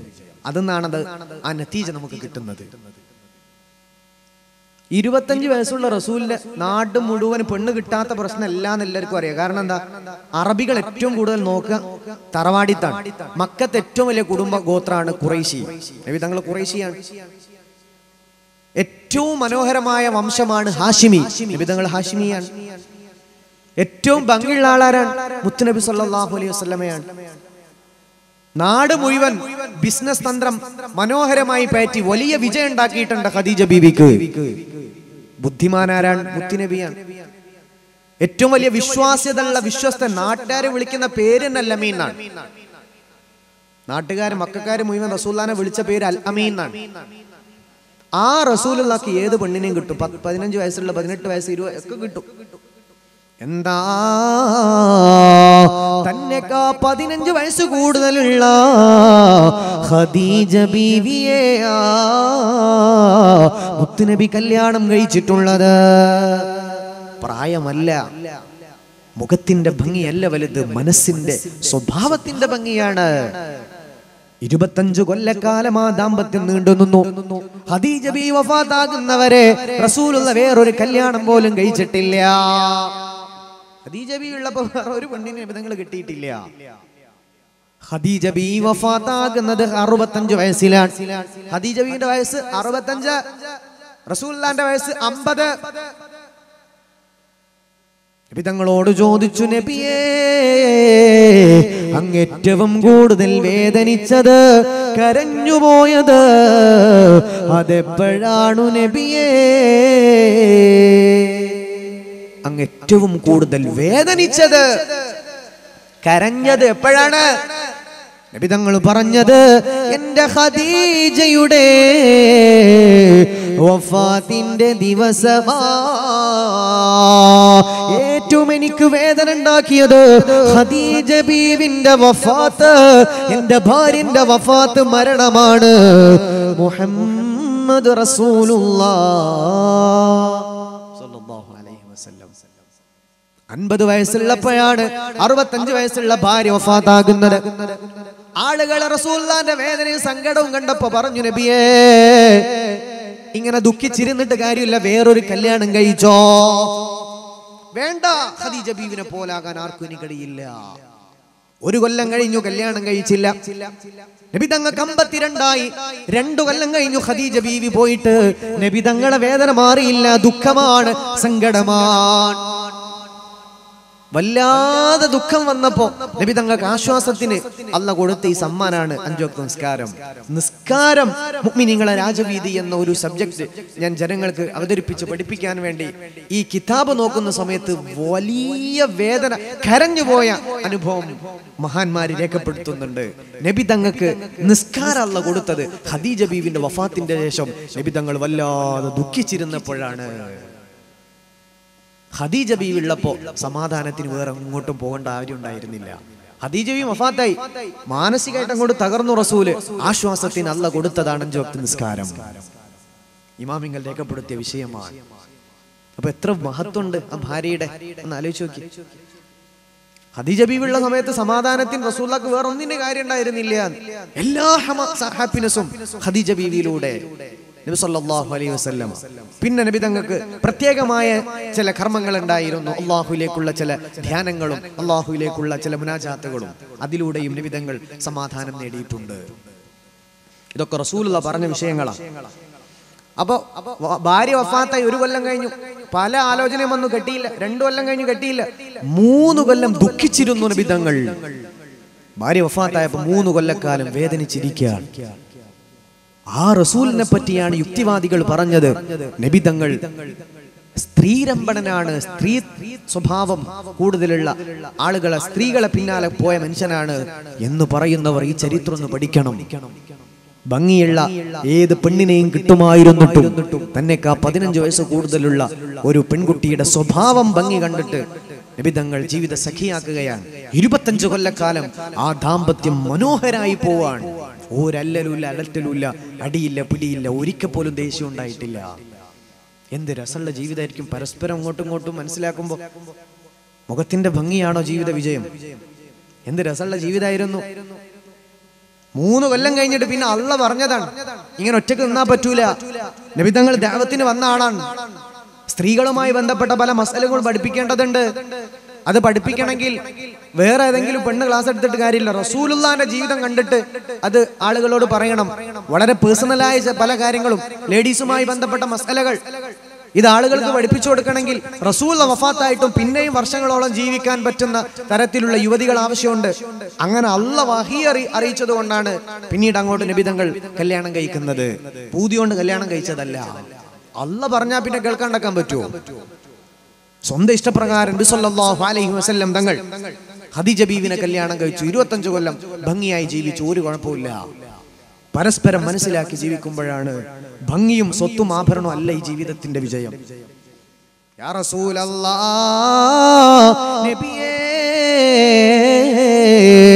ഇതങ്ങേക്കുള്ള സമ്മാനമാണു നബിയേ എന്ന് പറഞ്ഞിട്ട് നല്ലൊരു സമ്മാന പൊതി റസൂലുള്ളാക്ക് ഒരാൾ കൊടുക്കുകയാണ്. ഖദീജ ബീവിന്റെ വഫാത്തിന്റെ ശേഷമാണ് ആയിഷ ബീവ് റളിയല്ലാഹു അൻഹയുടെ വീട്ടിലുള്ളപ്പോഴാണ് ഈ സമ്മാനം കിട്ടുന്നത്. അപ്പോ നബി തങ്ങൾ ഈ സമ്മാന പൊതി തുറന്നു. നേരെ അതിൽ നിന്നൊരു പങ്ക് എടുത്തിട്ട് പൊതിഞ്ഞ് ആയിഷ ബീവിന്റെ കൈ കൊടുത്തു. ആയിഷ ബീവിനോട് പറഞ്ഞു ആയിഷ തൊട്ടപ്പുറത്ത് ഖദീജ ബീവിന്റെ ഒരു കൂട്ടുകാരുണ്ട് അവർ കൊണ്ടുപോയി കൊടുക്ക്.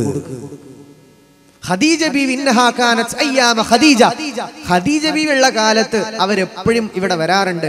ഖദീജ ബീവിനോട് ഭയങ്കര ഇഷ്ടമാണ് എന്റെ വൈഫ് ഖദീജ ബീവിക്ക് അവരെയും ഭയങ്കര ഇഷ്ടമാണ് അപ്പൊ എന്റെ മരിച്ചുപോയ ഖദീജ ബീവിന്റെ സുഹൃത്തല്ലേ? ഖദീജ ബീവിനെ വല്ലാണ്ട് ഇഷ്ടപ്പെട്ട ആളല്ലേ അതുകൊണ്ട് ഈ ഗിഫ്റ്റ് എന്നൊരു പങ്ക് അവർ കൊണ്ടുപോയി കൊടുക്കുക. ആയിഷ ബീക്ക് ഇത് കേട്ട് ദേഷ്യം പിടിച്ചു.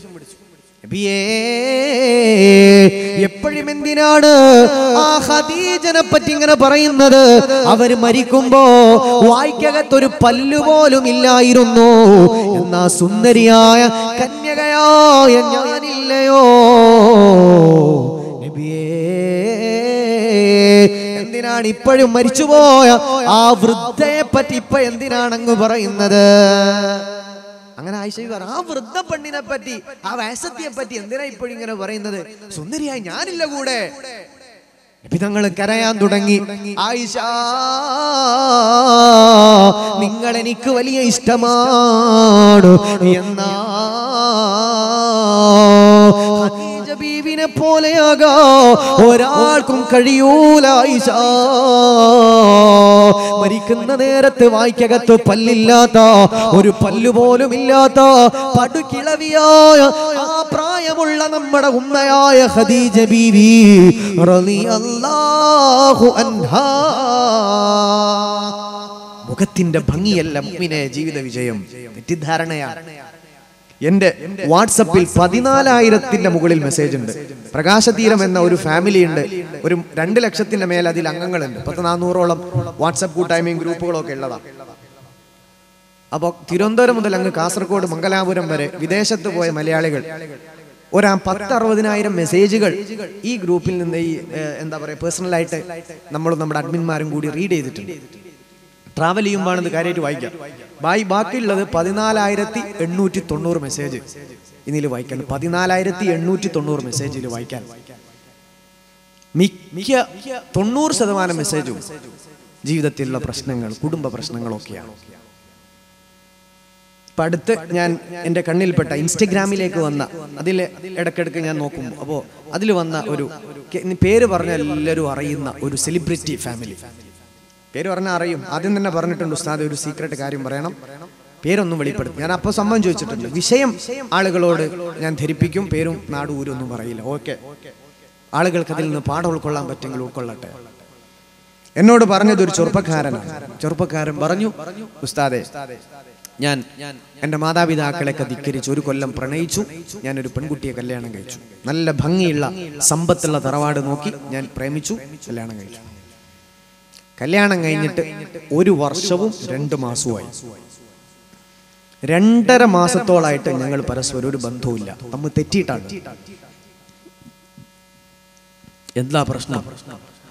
പൊന്നാരുസ്താദെ ഒരാഴ്ചയിലപ്പുറം എനിക്ക് സമാധാനം കിട്ടിയിട്ടില്ല. അങ്ങനെ പറഞ്ഞു.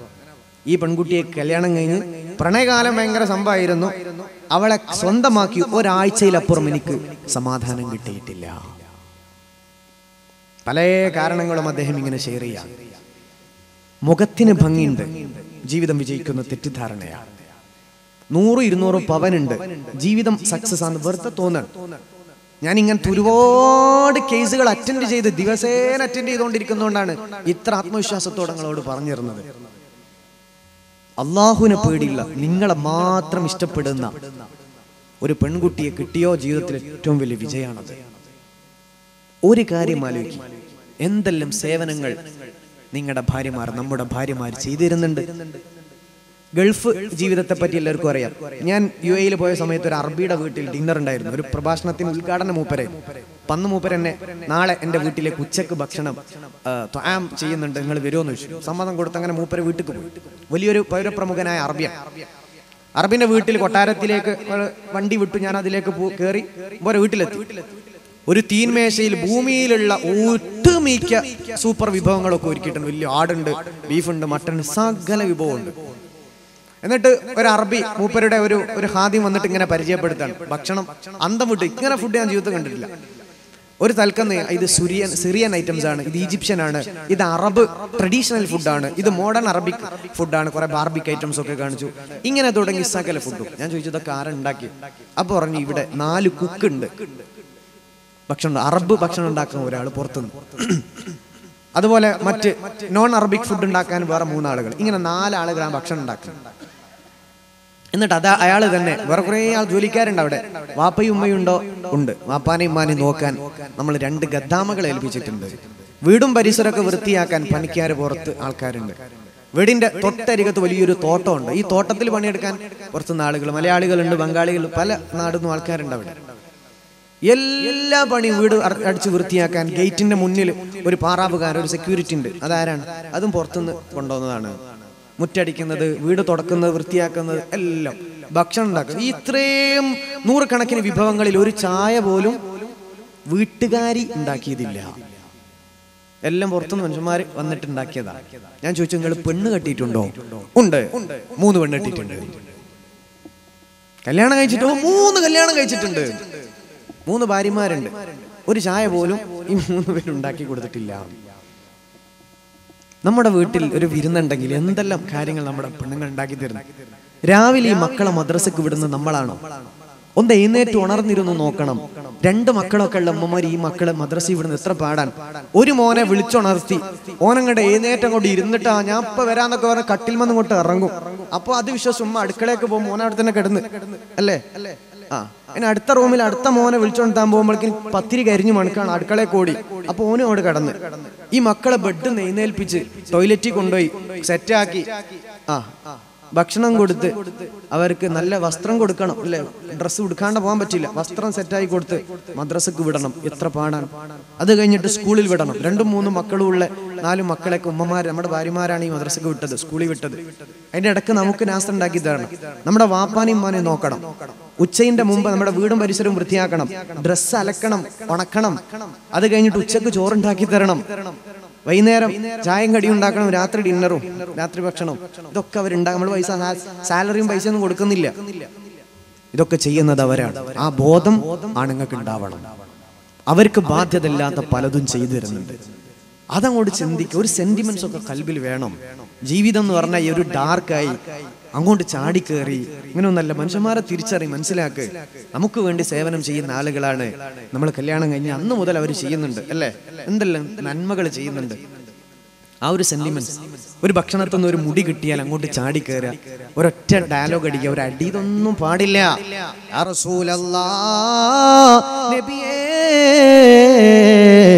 ഭാര്യനോടുള്ള ബാധ്യതകൾ അത് പറയുമോ നബിയേ?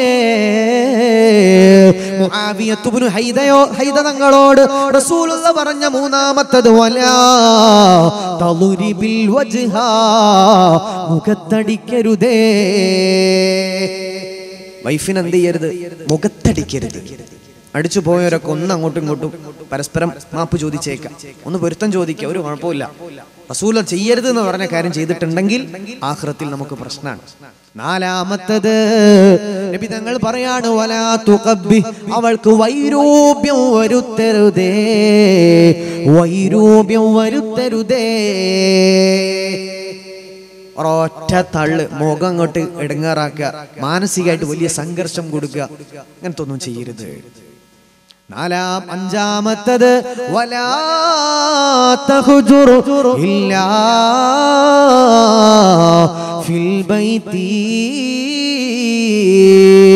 വീട്ടിൽ നിന്നല്ലാതെ വീട്ടിൽ നിന്ന് പുറത്തേക്ക് പോയാ അവളോട് പിണങ്ങരുതേ. ഹബീബ് വസല്ലം. പിണങ്ങാൻ പാടില്ല. വീട്ടിന്റെ ഉള്ളിൽ നിന്ന് പിണങ്ങിക്കോ. പുറത്തു പോകുമ്പോൾ പിണങ്ങരുത് എന്നാണ് ഇടയ്ക്കൊരു നല്ലതാണ് അങ്ങോട്ടും ഇങ്ങോട്ടും. നബി സല്ലല്ലാഹു അലൈഹി വസല്ലം അവിടെ അവിടുത്തെ ഭാര്യമാരോടൊക്കെ പിണങ്ങിയിട്ടുണ്ട്. രസകരമായ സംഭവങ്ങളാണ്. പറയാൻ നിന്നാ നേരം വിളിക്കും അതുകൊണ്ട് അങ്ങോട്ട് പോകുന്നില്ല. ജീവിതം എന്ന് പറഞ്ഞാൽ നബി സല്ലല്ലാഹു അലൈഹി വസ്ലം ഒറ്റ റൂമാണ് നബി തങ്ങളുടെ റൗല അല്ലെ? റൗള എന്ന് പറഞ്ഞ റസൂല്ലാന്റെ വീടാണ്. ഐഷത്ത് സുദ്ദീഖ് റളിയല്ലാഹു അൻഹയുടെ വീടാണത്. ഒറ്റ മുറിയാണ് ഒരു റൂം. എന്ത് ഹാപ്പി ജീവിതമാണ് കുടുംബപരമായി നബി തങ്ങൾക്ക്. ഉമ്മത്തിന് ഓർത്ത ദുഃഖമല്ലാതെ നബി സല്ലാഹു അലൈഹി വസ്ലമയുടെ കുടുംബ ജീവിതം വളരെ മനോഹരാണ് രസകരാണ് സുന്ദരമാണ്. അങ്ങനെയാവണം നമ്മുടെ കുടുംബ ജീവിതം എന്ന് പറഞ്ഞാൽ. നബി തങ്ങൾ കല്യാണം കഴിച്ചവരൊക്കെ മഹാ എന്താ പറയാ മുഖത്ത് അല്ലെ നാല് കിലോ വൈറ്റ് വാഷ് വെള്ള പെയിന്റ് അടിച്ച് കണ്ണിന് ചുറ്റി കറുത്ത പെയിന്റ് ഇങ്ങനെ ആ കറുത്ത ബ്ലാക്ക് പെയിന്റ് അടിച്ച് നടക്കുന്ന ആളുകളൊന്നും അല്ല വയസ്സു കൂടിയവര് വിധവകൾ.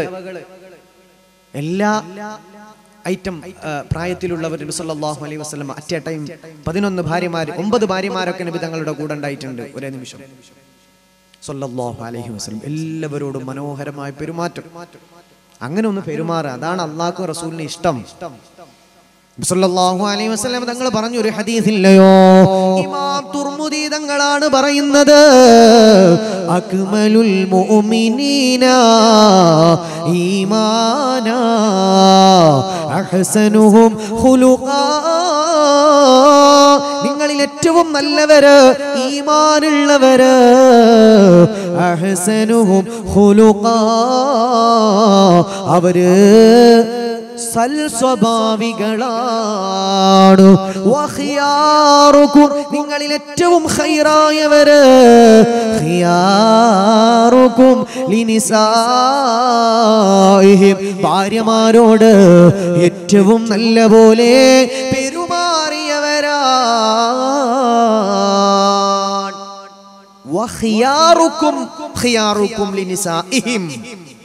നിങ്ങളിൽ ഏറ്റവും ബെസ്റ്റ് ബെറ്റർ എക്സലന്റ് ആയ ഹൈറുള്ള ആളുകൾ നല്ലവര് നല്ല മനുഷ്യന്മാര് ഗുണമുള്ള ആളുകൾ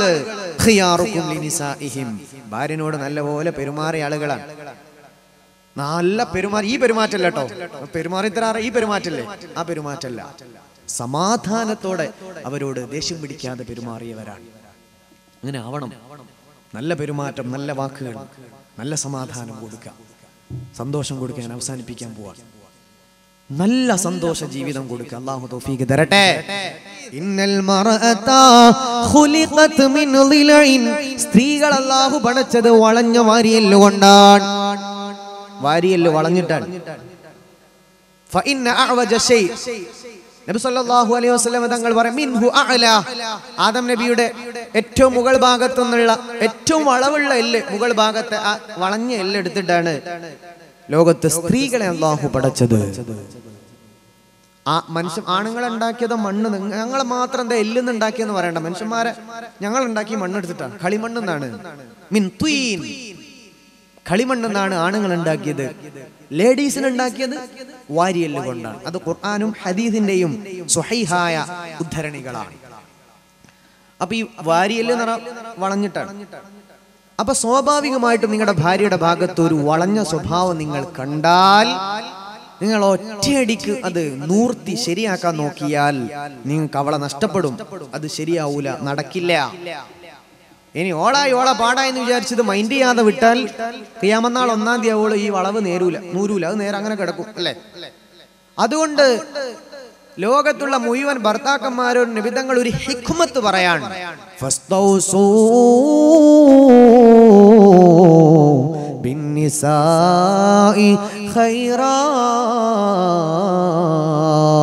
അവളോട് നിങ്ങൾ ഏറ്റവും നല്ല പോലെ പെരുമാറണേ. ഏറ്റവും നന്നായി ഏറ്റവും മനോഹരമായി സരളമായി രസകരമായി പെരുമാറണേ. മുഹമ്മദ് അലൈഹി വസല്ലം. റസൂൽ അങ്ങനെ പറഞ്ഞത് നിങ്ങൾ അവളെ ഭാഗത്ത് ഒരു തെറ്റ് കണ്ട ചാടിക്കേറി ഇടി അടി പിടി ആക്കണ്ട. നല്ല പെരുമാറ്റം. ഭക്ഷണം കഴിക്കുമ്പോ രോ- മുടി കിട്ടി. നമ്മൾ എന്താ ചെയ്യൽ? ഈ മീൻ പിടിച്ചാൽ ആൾക്കാർ മീൻ പിടിച്ചു കഴിഞ്ഞാൽ അങ്ങാടിയിൽ മത്സ്യ മാർക്കറ്റിൽ ഇങ്ങനെ എടുത്തു കാണിക്കൂല. അങ്ങനെ വാൽമ പിടിച്ച് ഇങ്ങനെ പൊക്കി കൊണ്ട് കാണിക്കാം. കണ്ടോളിട്ടോ അതേമാതിരി മുടി ഇങ്ങനെ പൊക്കിയിട്ട് നാട്ടുകാരെ കാണിക്കണ്ട പൊരക്കാരെ കാണിക്കണ്ട. ഫുഡിൽ ടേസ്റ്റ് കൂടാൻ മുറിച്ച് ആരും ഇടാറില്ല. അത് വീണ് പോകുന്നതാണ്. മുടി കൊഴിയുന്ന സാധനമാണ് അല്ലേ? ആ മുടി എടുത്തിട്ട് ആരും അറിയണ്ട പുറത്തേക്ക് കളയാം ഒരു ബേജാറുമില്ല അത് പറയ പോലും ചെയ്യണ്ട. നാല് ദിവസം കഴിഞ്ഞിട്ട് പറയാ അവളോട് മോളെ നിനക്ക് മുടി കൊഴിച്ചിലുണ്ടോ എന്നൊരു സംശയം. അതുകൊണ്ട് നല്ല എണ്ണ ഏതാ ഏത് ബ്രാൻഡാ മേടിക്കേണ്ടത്? അപ്പോൾ ബ്രാൻഡ് പറഞ്ഞു അത് മേടിച്ചു കൊടുക്കാം. ബസ്. ബുദ്ധിയുള്ള പെണ്ണിന് മനസ്സിലാവും. ഭർത്താവിന് എവിടുന്നോ എന്റെ മുടി കിട്ടിയിട്ടുണ്ട്. ആ ഭക്ഷണത്തുനിന്നോ മറ്റോ. അതുകൊണ്ടാണ് ഈ ഭർത്താവ് പറയുന്നത്. അപ്പൊ അവൾക്കും മനസ്സിലാകും ഭർത്താവ് ആ തെറ്റ് പോലും എന്നോട് പറയാതെ അതിന് പരിഹാരമാണ് ഭർത്താവ് പറഞ്ഞത്. അതാണ് ഫസ്റ്റ് ഹൗസ് ബിന്നിസായി ഹൈറ എന്ന് പറഞ്ഞാൽ. അവരോട് മാന്യമായി നല്ലപോലെ രസകരമായി സരളമായി മൃദുവായി മാന്യമായി പെരുമാറണം. ഹെക്മത്തോടെ പെരുമാറണം. അങ്ങനെയാണെങ്കിൽ അവരെ ശരിയാക്കി എടുക്കാൻ പറ്റുമെന്ന് നബി സല്ലല്ലാഹു അലൈഹി വസല്ലം തട്ടിക്കേറ് ചാടിക്കേറ് ദേഷ്യം പിടിക്കാൻ പാടില്ല. ഉമർ ബിൽ ഖത്താബ് തങ്ങളോട് ഒരാൾ വന്ന് പറഞ്ഞു ഉമർ എന്നവരെ എന്റെ കെട്ടിയോളെ എനിക്ക് മടുത്ത് ഞാൻ ഓളെ തൊലാക്കില്ലട്ടെ? യാ അമീറൽ മുഅ്മിനീ. ഉമറന്നവരെ ഉമറന്നവരെ എന്റെ ഭാര്യയെ ഞാ തൊലാക്ക് ചൊല്ലട്ടെയോ? ആ വന്നയാൾ പറഞ്ഞു മറന്നവരെ എനിക്കെന്റെ ഭാര്യയോട് സ്നേഹം തോന്നുന്നില്ല. എനിക്ക് അവളോട് സ്നേഹം തോന്നുന്നില്ല മറന്നവരെ. വല്ലാത്തൊരു ഒരു ഒരു പ്രതിസന്ധിയാണത്. അപ്പൊ ഉമറന്നവര് പറഞ്ഞു നീ വിചാരിച്ചോ ഇവിടെയൊക്കെ സ്നേഹം ഇങ്ങനെ പൂത്തുലഞ്ഞു നിൽക്കുകയാണെന്ന് അങ്ങനൊന്നുമല്ല. ഉമറന്നവര് പറഞ്ഞു നിന്റെ വീട്ടിൽ സ്നേഹം ഇങ്ങനെ പൂത്ത് നിൽക്കല്ല. കല്യാണം കഴിഞ്ഞാൽ എല്ലായിടത്തും പ്രശ്നങ്ങൾ ഉണ്ടാകും. അത് പരസ്പരം അഡ്ജസ്റ്റ് ചെയ്ത് പോവാണ് വേണ്ടത് എന്ന് ഒന്നാമത് ഉപദേശം കൊടുത്തു. അങ്ങനെ പറഞ്ഞേച്ചു വടിയെടുത്ത് അടിച്ചോടിച്ചു എന്ന് വേറൊരു രീവായത്തിൽ ഇമാമിങ്ങൾ പറയുന്നുണ്ട്. കെട്ടിയോളെ തൊലാക്കില്ല എന്ന് ചോദിച്ചു ഒറ്റ അടി കൊടുത്തു വർത്തിച്ചു ഓടിച്ചു കുറച്ചു ദിവസം കഴിഞ്ഞ് പിന്നെയും വന്നു. അമീറൽ ഉമറന്നവരെ എനിക്ക് കഴിയുന്നില്ല അവളുടെ കൂടെ ജീവിതം കഴിയുന്നില്ല. അവളുടെ കൂടെ ജീവിക്കാൻ എന്നെ കൊണ്ട് പറ്റുന്നില്ല മറന്നവരെ. സാധിക്കുന്നില്ല എന്ന് പറഞ്ഞു. തീരെ അവളോട് എനിക്ക് സ്നേഹം തോന്നുന്നില്ല. അപ്പോൾ മറന്നവർ ചോദിച്ചു മോനെ നീ അവളോട് ദേഷ്യപ്പെടാറുണ്ടോ? സ്ഥിരമായി. ഗലബ് എന്നാണ് അറബി പറയുന്നത്. ദേഷ്യം പിടിക്കാറുണ്ടോ? അപ്പൊ ഇയാൾ പറഞ്ഞു ഉണ്ട് മറന്നവരെ. ഞാൻ എപ്പോഴും അവളോട് ദേഷ്യപ്പെടാറുണ്ട് എന്ന് പറഞ്ഞു. എപ്പോഴും ഞാൻ അവളോട് ദേഷ്യപ്പെടാറുണ്ട്. ഫുൾ ടൈം ദേഷ്യമാണെന്ന് പറഞ്ഞു. കാരണം ഞങ്ങളുടെ ഗോത്രത്തിൽ ആണുങ്ങൾ യുദ്ധത്തിനും മറ്റും അടിപിടിക്കുക പോരാട്ടത്തിന് പോകുന്ന ആൾക്കാരാണ്. ഞങ്ങൾ മനുഷ്യന്മാരോടൊക്കെ ദേഷ്യത്തിൽ പെരുന്നാറുന്നവരാണ് എന്റെ ഭാര്യയോട് ഞാൻ എപ്പോഴും ദേഷ്യം പിടിക്കാറുണ്ട്. എന്ന് പറഞ്ഞു. അപ്പൊ പറഞ്ഞു ഇതേ അനുഭവം നിബിതങ്ങളുടെ മുന്നിലേക്കും ഒരാൾ വന്നു പറഞ്ഞിട്ടുണ്ട്. അപ്പൊ റസൂലുള്ള പറഞ്ഞ വിഷയം ഇതാണ്. അവളോട് അവരോട് ദേഷ്യപ്പെടരുതേ.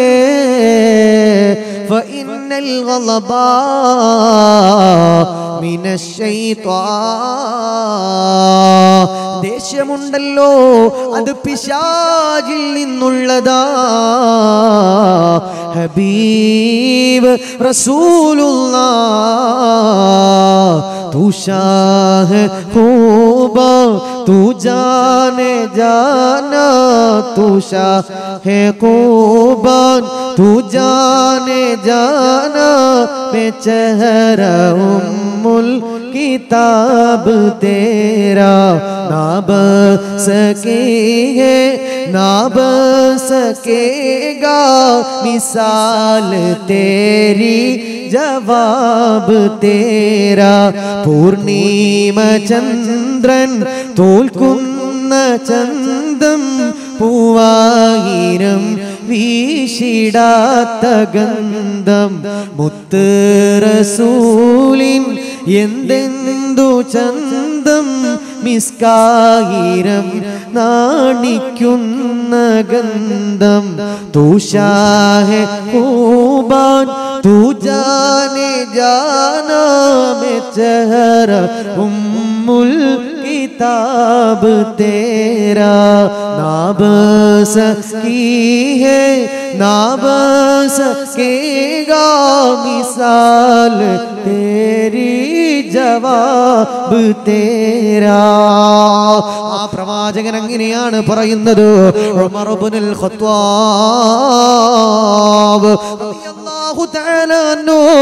അവിടുന്ന് പറഞ്ഞു കൊടുക്കുന്ന വിഷയം ഏതാണെന്നറിയോ നീ അവളോട് ദേഷ്യപ്പെടരുതേ. സ്ഥിരമായി ദേഷ്യം അത് നല്ല സ്വഭാവമല്ല. അതും കൂടെ ഒന്ന് ശ്രദ്ധിക്കാം. നാലാഴ്ച മുമ്പ് കറക്റ്റ് പറഞ്ഞാൽ കഴിഞ്ഞ ജനുവരി ലാസ്റ്റ്. ഞാനൊരു വയലിന് പോയി. വയലിന് പോയപ്പോ കുറച്ച് ലേറ്റ് ആയിരുന്നു സദസ്സിലെത്താൻ. അപ്പൊ ഭക്ഷണപ്പുരയിലേക്ക് അവർ വെയിറ്റ് ചെയ്യുന്നുണ്ട് നേരെ ഫുഡ് കഴിക്കുന്ന വീട്ടിലേക്ക് പോയി. അപ്പോൾ ഒരു വാഹനത്തിൽ കുറച്ച് ആളുകൾ വന്നു. ഉസ്താദെ ഒന്ന് ഞങ്ങളുടെ വീട്ടിലേക്ക്. കാരണവരുടെ വീട്ടിലേക്ക് ഒന്ന് വരണം ഒന്ന് ദ്വാ ചെയ്യാനാണ്. അപ്പൊ സംഘാടകർ പറഞ്ഞു ഇവിടെ ലേറ്റ് ആയിട്ടുണ്ട്. വയന്ന് കഴിഞ്ഞിട്ട് വേണമെങ്കിൽ ഉസ്താദിനെ വിട്ടുതരാം അങ്ങനെ അവരവിടെ വെയിറ്റ് ചെയ്തു. ഒരു പൗരപ്രമുഖരായ കുറച്ച് ആളുകളാണ് വലത് കൈയോളം അവർ വെയിറ്റ് ചെയ്തു. കഴിഞ്ഞ് ഞാൻ അവരുടെ കൂടെ അവരുടെ ആവശ്യം മുൻനിർത്തി. എന്താണ്? ഒരു രോഗിക്ക് വേണ്ടി ഒന്ന് വീട്ടിൽ സന്ദർശിക്കാനെന്ന് പറഞ്ഞു ഞാൻ അവരുടെ കൂടെ പോയി. കൂടെ പോയി. പോകുന്ന പോക്കിൽ എനിക്ക് സുന്ദരനായ സുമുഖനായ നല്ല തടിയും വെയിറ്റും ഒക്കെ ഉള്ള ഒരു മനുഷ്യന്റെ ഫോട്ടോ കാണിച്ചു.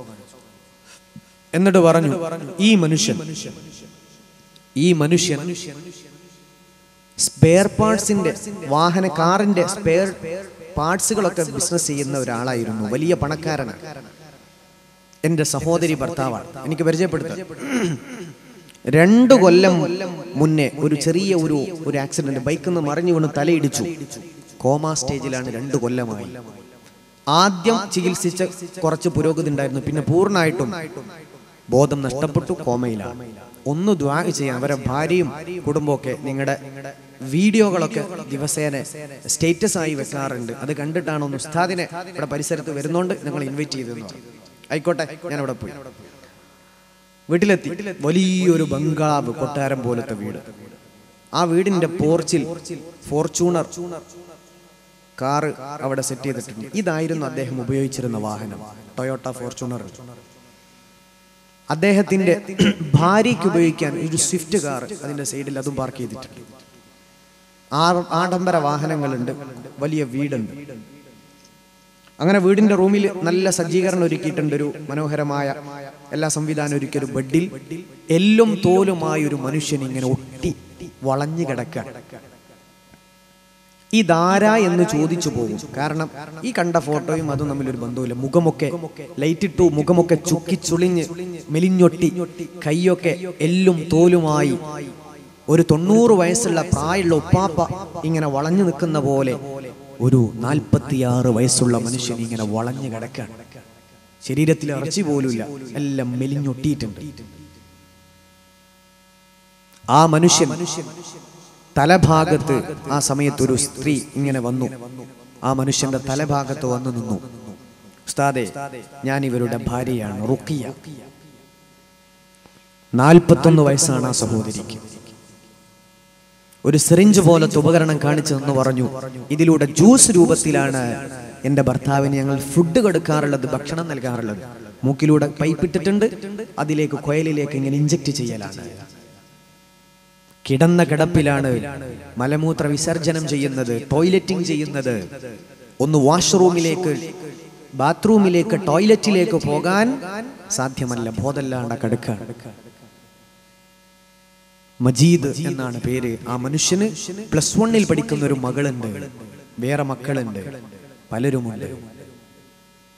ആ മനുഷ്യനെ കിടന്ന കിടപ്പിൽ കാര്യങ്ങളൊക്കെ സാധിച്ചു. ഒന്ന് ബാത്റൂമിൽ പോകാൻ പറ്റാത്ത മനുഷ്യനാണ്.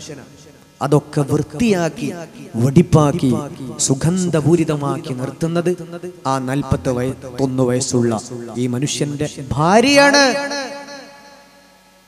ഉമ്മ ജീവിച്ചിരിപ്പുണ്ടോ? ഇല്ല ഉമ്മ മരിച്ചുപോയി എന്ന് പറഞ്ഞു. നമ്മൾ നമ്മിലേക്ക് ഒതുങ്ങേണ്ട ഒരു അവസ്ഥ വന്നാൽ ആരും കൂടെ ഉണ്ടാവില്ല ഭാര്യ അങ്ങോട്ട് തിരിഞ്ഞു കിടക്കുമ്പോ വയക്ക് പറഞ്ഞ് ഇപ്പുറത്ത് ഏതെങ്കിലും സ്ത്രീകളോടൊക്കെ ചാറ്റ് ചെയ്യുന്ന മനുഷ്യരുണ്ടോ? നമ്മൾ നമ്മിലേക്ക് ഒതുങ്ങി ഒന്ന് തലയിടിച്ചാ മതി. ബൈക്കൊന്ന് മറിഞ്ഞു വീണാ മതി. ഒരു അപകടം പറ്റി. ബോധം പോയി. വീൽ ചെയറിലായി കിടപ്പിലായി. ഒരേ ഒരാൾ മാത്രമേ കൂടെ ഉണ്ടാവൂ. നമ്മുടെ ഭാര്യയാണ് നമ്മുടെ ഉമ്മാക്ക് ഒരു പരിധിയുണ്ട്. അല്ലെ ഒരു പ്രായം കഴിഞ്ഞ കഴിഞ്ഞാൽ പിന്നെ ഉമ്മാക്ക് സഹായിക്കാൻ ഒരു പരിധിയുണ്ട്. ഒരു പതിവ് കഴിഞ്ഞാൽ അവർ മരിച്ചും പോവും. ചെറുപ്രായത്തിൽ ഉമ്മ ജീവിച്ചിരിപ്പുണ്ടെ ഉമ്മ എല്ലാം ചെയ്തൊരു ഒരു മടി ഉമ്മാക്ക് ഉണ്ടാവില്ല പക്ഷെ കല്യാണമൊക്കെ കഴിഞ്ഞ് ഭാര്യയുണ്ട്. ഉമ്മാക്ക് ഒരു പരിധി കഴിഞ്ഞാൽ ഉമ്മ നമ്മളെ വിട്ടുപോകും അവശയാവും പ്രായാവും. എന്നാൽ നമ്മുടെ കൂടെ നമ്മുടെ പ്രിയപ്പെട്ട ഭാര്യക്ക് മാത്രമേ നമ്മളെ സഹായിക്കാൻ കഴിയുള്ളൂ. ആ ബോധമാണ് നിങ്ങൾക്ക് മുഴുവനും വേണം. ഞാനൊന്ന് എന്നിലേക്ക് ഒതുങ്ങി എനിക്കെന്തെങ്കിലും അപകടം പറ്റി. ഞാൻ എന്റെ വീട്ടിന്റെ ബെഡിൽ കിടക്കേണ്ടി വന്നാൽ എന്റെ തലഭാഗത്ത് വന്ന് എനിക്ക് ആശ്വാസത്തിന്റെ വാക്ക് പറഞ്ഞു തരാൻ എനിക്ക് ബോധമുണ്ടെങ്കിൽ ആശ്വസിപ്പിക്കാൻ ആര് കൂടെ ഉണ്ടാകും? എന്റെ ബോധവും പോയി.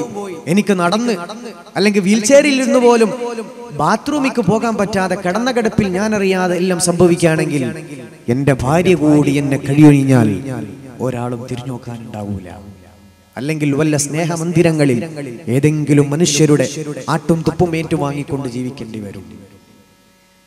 കാലാകാലം നമുക്ക് ആരോഗ്യമുണ്ട് എന്ന് അള്ളാഹു നമ്മളോട് എഴുതി ഒപ്പിട്ട് തന്നിട്ടില്ല. നാളെ നമ്മൾ കൂടി നടക്കാൻ പറ്റുമോ? നമുക്ക് അറിഞ്ഞുകൂടാ നാളെ കടലിൽ പോകാൻ പറ്റുമോ? അറിയില്ല. നാളെ തോടാർ മഖാമുറൂസിന് വയലിന് സെലീവാഫി അവിടെ എത്തുമോ? അറിഞ്ഞുകൂടാ. നമ്മൾ ഓരോരുത്തരുടെയും നാളത്തെ കാര്യം നാളെ സംഭവിക്കുന്നത്. അത് അള്ളാഹുവിന് മാത്രമേ അറിയുന്ന ഖുർആൻ. അതുകൊണ്ട് എന്തും സംഭവിക്കാം. നമ്മളൊക്കെ യാത്ര ചെയ്യുന്നവരാണ്. നമ്മളൊക്കെ ബൈക്കിലും കാറിലും ബസ്സിലൊക്കെ പിടിച്ചു പോകുന്നവരാണ്. റോഡിലൂടെ നടന്നു പോകുന്നവരാണ്. ബേക്കിൽ വന്ന് ഇടിച്ചാൽ മതി. എത്ര ആളുകൾ അങ്ങനെ അപകടത്തിൽപ്പെട്ട് മരിക്കുന്നു ബോധമില്ലാതെ പോകുന്നു. എത്ര പേര് വീൽ ചെയറിലായി പോകുന്നു. അങ്ങനെ എങ്ങാനും നമുക്ക് സംഭവിച്ചാൽ നമ്മൾ വലിയ വർത്താനം പറഞ്ഞ് നടക്കുന്ന സമാധാനം നൽകുന്ന പലരും കൂടെ ഉണ്ടാകൂല. നമ്മുടെ ഭാര്യ ആട്ടും തുപ്പും കൊടുത്ത് നമ്മൾ മാറ്റി നിർത്താൻ ശ്രമിക്കുന്ന ദേഷ്യം പിടിക്കുന്ന വൈഫ് മാത്രമേ ഉണ്ടാവുള്ളൂ. അത് തിരിച്ചറിയാം. ആ സമാധാനം കൊടുക്ക നാളെ എനിക്ക് ഇവിടെ ഉണ്ടാവൂ എന്നൊരു ബോധം ഉണ്ടാകും ഹാപ്പിനെസ് നൽകുക. ദേഷ്യം പിടിക്കലും അതൊന്നും വേണ്ട. മുഖത്തിന് ഭംഗി ലോകത്തെല്ലാവർക്കും ഒരു പരിധി കഴിഞ്ഞാൽ കുറയും. പ്രായം കൂടുന്നതനുസരിച്ച് ഭംഗി പോകും. ഇനി എത്ര ഭംഗിയാണെങ്കിലും തിളച്ച വെള്ളത്തിലാണ് ഈ ഉമ്മമാരൊക്കെ ഭക്ഷണം ഉണ്ടാക്കി പണിയെടുക്കുന്നത്. ഒന്ന് കുക്കർ പൊട്ടിത്തെറിച്ച് കഴിഞ്ഞാൽ ആർക്കും എന്തും സംഭവിക്കാൻ പറ്റുന്ന ലോകമാണ്. അതുകൊണ്ട് മുഖത്തിന്റെ ഭംഗിയിലേക്ക് നിങ്ങൾ നോക്കണ്ട. മാലയുടെ ഖനം സ്വത്തിന്റെ വലിപ്പം അതൊന്നുമല്ല ജീവിതം. നല്ല സ്വഭാവമുള്ള ഈമാനുള്ള അള്ളാഹുവിനെ പേടിയുള്ള ഒരു പെണ്ണുണ്ടോ? നമ്മൾ സുഖ നിസ്കരിക്കുന്നുണ്ടോ? നിങ്ങളെ സുബുഹിനെ എഴുന്നേൽപ്പിക്കുന്നുണ്ടോ അവളെ ലൊഹറും അസുറും മകരിബും മെഷയും നിസ്കരിക്കുന്നുണ്ടോ? അവൾ ഫോൺ എടുത്ത് നിങ്ങളല്ലാത്ത അന്യ പുരുഷന്മാരിലേക്ക് ഹറാമുകൾ അയക്കാത്തവളാണോ? അൽഹംദുലില്ലാ അതാണ് നല്ല ജീവിതമെന്ന് പഠിക്കണേ. അള്ളാഹു തരട്ടെ. അതുകൊണ്ട് മിനിങ്ങളെ ചെറിയ ജീവിതം ഒന്ന് പരസ്പരം കൊടുത്തും വാങ്ങിയും സന്തോഷം കൊടുത്തും അല്ലെ സമ്മാനങ്ങളൊക്കെ എടുത്ത് കൊടുക്കണം. നിങ്ങൾ അങ്ങാടിയിലൊക്കെ പോയി വരുമ്പോൾ ഇഷ്ടമുള്ള സാധനമൊക്കെ ഒന്ന് പൊതിഞ്ഞ് ഗിഫ്റ്റ് സർപ്രൈസുകളാക്കി നൽകണം. അവരതൊക്കെ ആഗ്രഹിക്കുക. ആണുങ്ങൾക്ക് ഇതൊന്നും കിട്ടിയ ഒരു കുഴപ്പമില്ല. അതൊന്നും തിരിച്ചു പ്രതീക്ഷിക്കാത്ത ആളുകളാണ് മിക്ക ആണുങ്ങളും. അല്ലേ? എന്നാൽ സ്ത്രീകളുടെ മനസ്സ് എന്ന് പറഞ്ഞാൽ ഇങ്ങനത്തെ ലവ് വിത്ത് കെയർ അത് ഭയങ്കരമായിട്ട് ആഗ്രഹിക്കുന്ന ആളുകളാണ്. അതൊന്ന് മനസ്സിലാക്കാം. ഇടക്കു സമ്മാനം. നല്ല അവൾക്ക് ഇഷ്ടപ്പെട്ട മാക്സികൾ നൈറ്റി അതുപോലെ ഡ്രസ്സുകൾ പർദ്ദ. അവളെന്താണോ അള്ളാഹ്ക്ക് ഇഷ്ടമുള്ള സംഭവമായാൽ മതി. അതൊക്കെ ഒന്ന് മേടിച്ചു കൊടുക്കുക അല്ലേ? അവളെ കൂട്ടിയിട്ട് പോയി. ചില ആണുങ്ങൾക്ക് എത്ര സെലക്ട് ചെയ്ത് കഴിഞ്ഞാലും നാല് വട്ടം ഓൾ പോയിട്ട് അത് മാറ്റേണ്ടി വരും അല്ലേ? സെലക്ഷൻ പവർ ഇല്ലാത്ത ആണുങ്ങൾ ഉണ്ടാവും ഒരു റിസ്ക് എടുക്കണ്ട. ഓളെയും കൂട്ടിയിട്ട് പോയി മേടിച്ചു കൊടുക്കാം. ഞാനൊക്കെ ആ ഒരു ഐറ്റാണ് ഞാൻ എന്ത് ഡ്രസ്സ് എടുത്താലും എന്റെ വൈഫിന് പറ്റൂല. അതുകൊണ്ട് എന്ത് ചെയ്യും? രണ്ടാമതും ഓൾ അത് പോയിട്ട് മാറ്റി കൊണ്ടുവരില്ല. പിന്നെ ഞാൻ ആ പണി നിർത്തി. ഓളെയും കൂട്ടിയിട്ടേ പോകുന്ന പറയാം അപ്പൊ സെലക്ഷൻ കപ്പാസിറ്റി ഇല്ലാത്ത ആണുങ്ങളൊക്കെ എന്ത് ചെയ്യുക കെട്ടിയോളെയും കൂട്ടിയിട്ട് പോകും ചില ആണുങ്ങൾക്ക് ഭയങ്കര സെലക്ഷൻ കപ്പാസിറ്റിയാണ് അവരെന്തെടുത്താലും പെണ്ണുങ്ങൾക്ക് ഇഷ്ടപ്പെടും. അവരൊക്കെ നല്ല നല്ല വസ്ത്രങ്ങളൊക്കെ ആടിയിലൊക്കെ പോയി വരുമ്പോൾ അതൊക്കെ നല്ലതാണ്. നബിതങ്ങൾ പറഞ്ഞു നിങ്ങൾ പരസ്പരം ഹദിയകൾ നൽകുന്നത് ഗിഫ്റ്റുകൾ നൽകുന്നത് സ്നേഹം കൂടാൻ കാരണമാണെന്ന് മുത്തു നബി സല്ലല്ലാഹു അലൈഹി വസല്ലം. അതൊക്കെ ഒന്ന് പരിഗണിക്കാം. അങ്ങനെ കൊണ്ടും കൊടുത്തും അങ്ങനെ ജീവിക്കുമ്പോഴാണ് നമ്മൾ ഒരിക്കലും മരിച്ചു പോകും. മണ്ണിന്റെ അടിയിലെത്തും. നമ്മൾ ഓർക്കാൻ കുറെ ആളുകളൊന്നും ഇല്ല നമുക്ക് വേണ്ടി ദ്വാ ചെയ്യാൻ ആമീൻ പറയാൻ കുറെ ആൾക്കാരൊന്നും ഇല്ല അത് ഓരോരുത്തരും മനസ്സിലാക്കുക. അതുകൊണ്ട് നമ്മുടെ വീട്ടിലുള്ള അള്ളാഹു തന്ന നമ്മുടെ കുടുംബം നമ്മുടെ അഹിൽ അവരെ പൊന്നുപോലെ സംരക്ഷിക്കുക. നമ്മുടെ മക്കൾക്ക് വേണ്ടി ദ്വാ ചെയ്യാം അവരെ ദീന് പഠിപ്പിക്കുക. അവരെ അതവ് പഠിപ്പിക്കുക. അങ്ങനെയുള്ള നല്ല മാതാപിതാക്കളും നല്ല ഭാര്യയും ഭർത്താവും ഒക്കെ ആയി അല്ലേ? ഉമ്മമാർ നിങ്ങളെ ഭർത്താവിന്റെ പൊരുത്തം കിട്ടിയാലേ സ്വർഗം കിട്ടും നേരത്തെ പഠിച്ചു.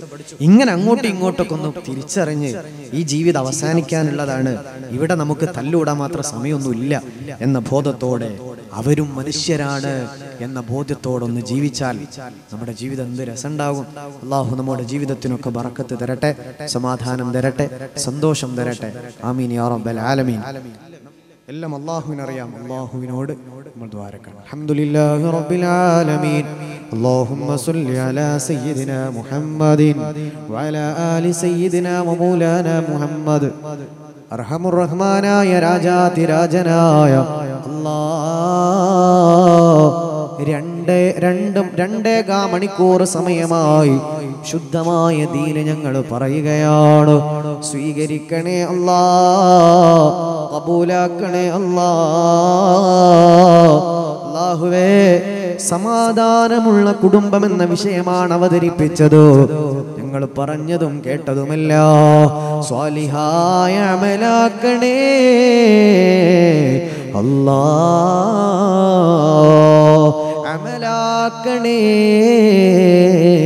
അല്ലാ ഇസ്സത്ത് നൽകണേ അല്ലാ.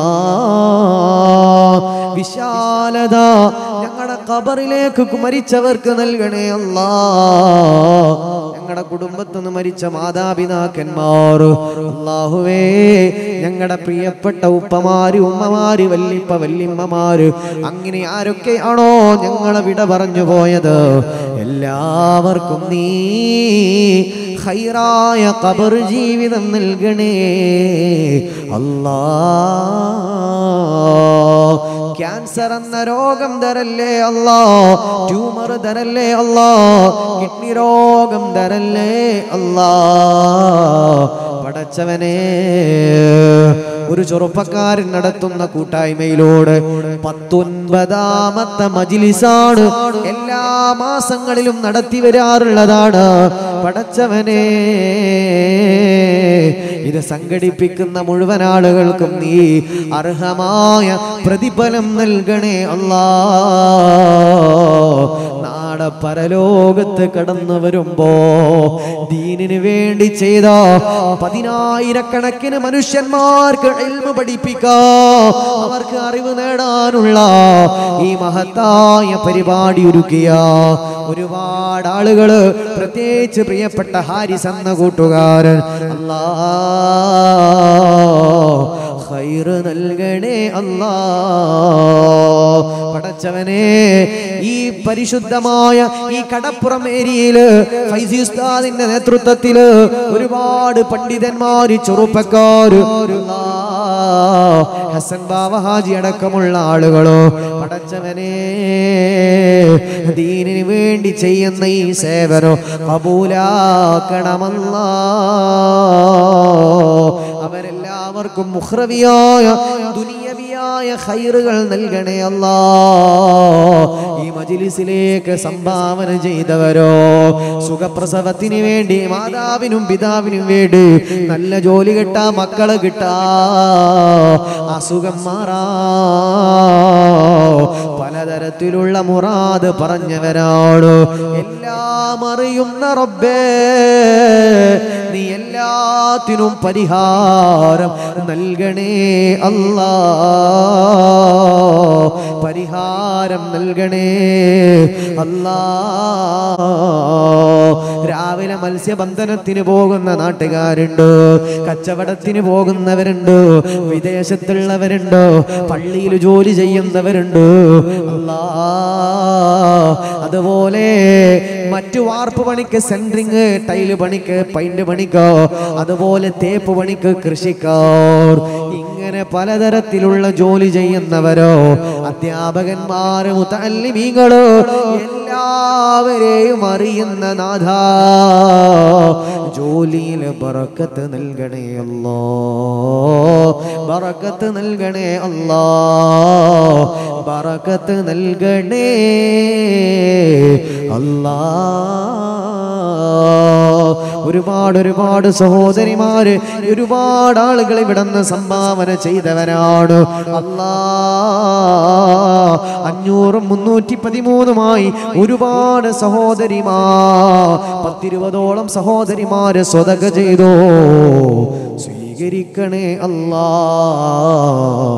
കബൂലാക്കണേ അല്ലാ. പടച്ചവനെ അള്ളാഹുവേ ഞങ്ങളുടെ കുടുംബത്തിൽ ബറക്കത്ത് നൽകണേ ജീവിച്ചിരിക്കുന്ന മാതാപിതാക്കന്മാർക്ക് ആഫിയത്തുള്ള ദീർഘായുസ് നൽകണേ അല്ലോ ചെറുപ്പക്കാരൊക്കെ നല്ലവരാണ് അവരെയൊക്കെ നീ ഹൈറിലാക്കണേ അല്ലോ പറ്റിപ്പോയ തിന്മകളിൽ നിന്ന് അള്ളാഹുവെ നിന്നിലേക്ക് മടങ്ങാനുള്ള നല്ല ബോധം എല്ലാവർക്കും നൽകണേ അല്ലോ ഞങ്ങളുടെ ഭാര്യമാരെ ഹൈറിലാക്കണേ അല്ലോ നല്ല സമാധാനം അവർക്ക് നൽകാൻ. അവരൊരു മനുഷ്യരാണെന്ന ബോധത്തോടെ ദേഷ്യമില്ലാത്ത കളങ്കമില്ലാത്ത വഞ്ചനയില്ലാത്ത സ്നേഹം നൽകാ ആണുങ്ങൾക്ക് സൗഭാഗ്യം നൽകണേയല്ലോ അതുപോലെ തിരിച്ച് ഈ ഭർത്താവിന്റെ പൊരുത്തത്തിലാണ് സ്വർഗമെന്ന ബോധമുള്ള നല്ല ഭാര്യമാരാക്കി മാറ്റണേ. അല്ലാ. അടിയും പിടിയുമില്ലാതെ നല്ല ഒരു സന്തോഷ കുടുംബമാക്കി ഞങ്ങളുടെ കുടുംബത്തെ മാറ്റണേ അല്ലോ. അടച്ചവനെ കടങ്ങളുള്ളവരുണ്ട് നീ വീട്ടണേ അല്ലാ. കടങ്ങൾ വീട്ടാനുള്ള സൗഭാഗ്യം പെട്ടെന്ന് തന്നെ തരണേ അല്ലാ. പടച്ചവനെ ഇർഷാദ് അഷ്റഫി എന്ന കൂട്ടുകാരന്റെ വല്യമ്മ മരിച്ച നാൽപ്പതാവാൻ സ്വർഗം കൊടുക്കണേ അല്ലോ. അങ്ങനെ ദുആ ചെയ്യാൻ പറഞ്ഞ പല ആളുകളും പടച്ചവനെ എല്ലാവരെയും നിനക്കറിയാം. ഇവിടെ ഒത്തുകൂടിയ പാതിരാത്രി ഒരു മണിയോടടുക്കുന്ന നേരമാ. എഴുന്നേറ്റു പോകാതെ ഈ വഴലിന്റെ സദസ്സിൽ ഒരുമിച്ച് കൂടിയ പാരാപാരം പോലെ വന്ന ഉമ്മമാരും ഉപ്പമാര് എല്ലാവരെയും നീ സന്തോഷത്തിലാക്കണേ. അല്ലാ സമാധാനത്തിലാക്കണേ അല്ലോ. തിരുവനന്തപുരം ജില്ലയിലുള്ള എന്റെ ഒരു സുഹൃത്ത് നസീർ ഖാൻ എന്നാണ് അവരുടെ പേര്. അള്ളാഹുവേ അവരുടെ വളരെ അടുത്ത ഒരാൾ അമ്മാവന്റെ മകനുണ്ട്. അക്ബർ ഷാ എന്നാണ് പേര്. അവർ പെട്ടെന്ന് ഒരു അറ്റാക്ക് വന്ന് മരിച്ചതാണ്. അള്ളാഹു അവർക്ക് നീ സ്വർഗം നൽകണേ വലിയ സ്നേഹമുള്ള ഒരു സഹോദരനാണ്. അവർക്കൊക്കെ തിരിച്ചു കൊടുക്കാനുള്ളത് ഇങ്ങനെ ആയിരക്കണക്കിന് മനുഷ്യന്മാരോട് ആമീന് മാത്രമാ. ആ നസീർ ഖാൻ എന്ന സഹോദരൻ അവരുടെ കുടുംബത്തിന് നീ ഹൈറ് നൽകണേ അല്ലാ ഒരുപാട് ഒരുപാട് ആളുകൾ അള്ളാഹുവേ ഓപ്പറേഷൻ അങ്ങനെ പല കാര്യങ്ങളും ഈ കടലിലേക്ക് പോയി മത്സ്യബന്ധനം നടത്തുന്ന ആളുകളുണ്ട്. എല്ലാവരുടെ ജീവിതത്തിലും നീ ബറക്കത്ത് കൊടുക്കണേ അല്ലാ. ഒരു കാറ്റും കോളും കടൽക്ഷോഭം കൊണ്ട് ജീവിതത്തിന്റെ സന്തോഷങ്ങളെ നീ കെടുത്തരുതേ അല്ലാ. ആയക്കടലിലേക്ക് പോകുമ്പോ പ്രകൃതിക്ഷോഭങ്ങളെ കൊണ്ട് കുടുംബങ്ങളെ കരയിപ്പിക്കല്ലേ? അല്ലാ. പടച്ചവനെ ഡയാലിസ് ചെയ്യുന്നവരുണ്ട്. സ്വർഗ കൊടുക്കണേ റബ്ബേ ക്ഷമ കൊടുക്കണേ അല്ലാ.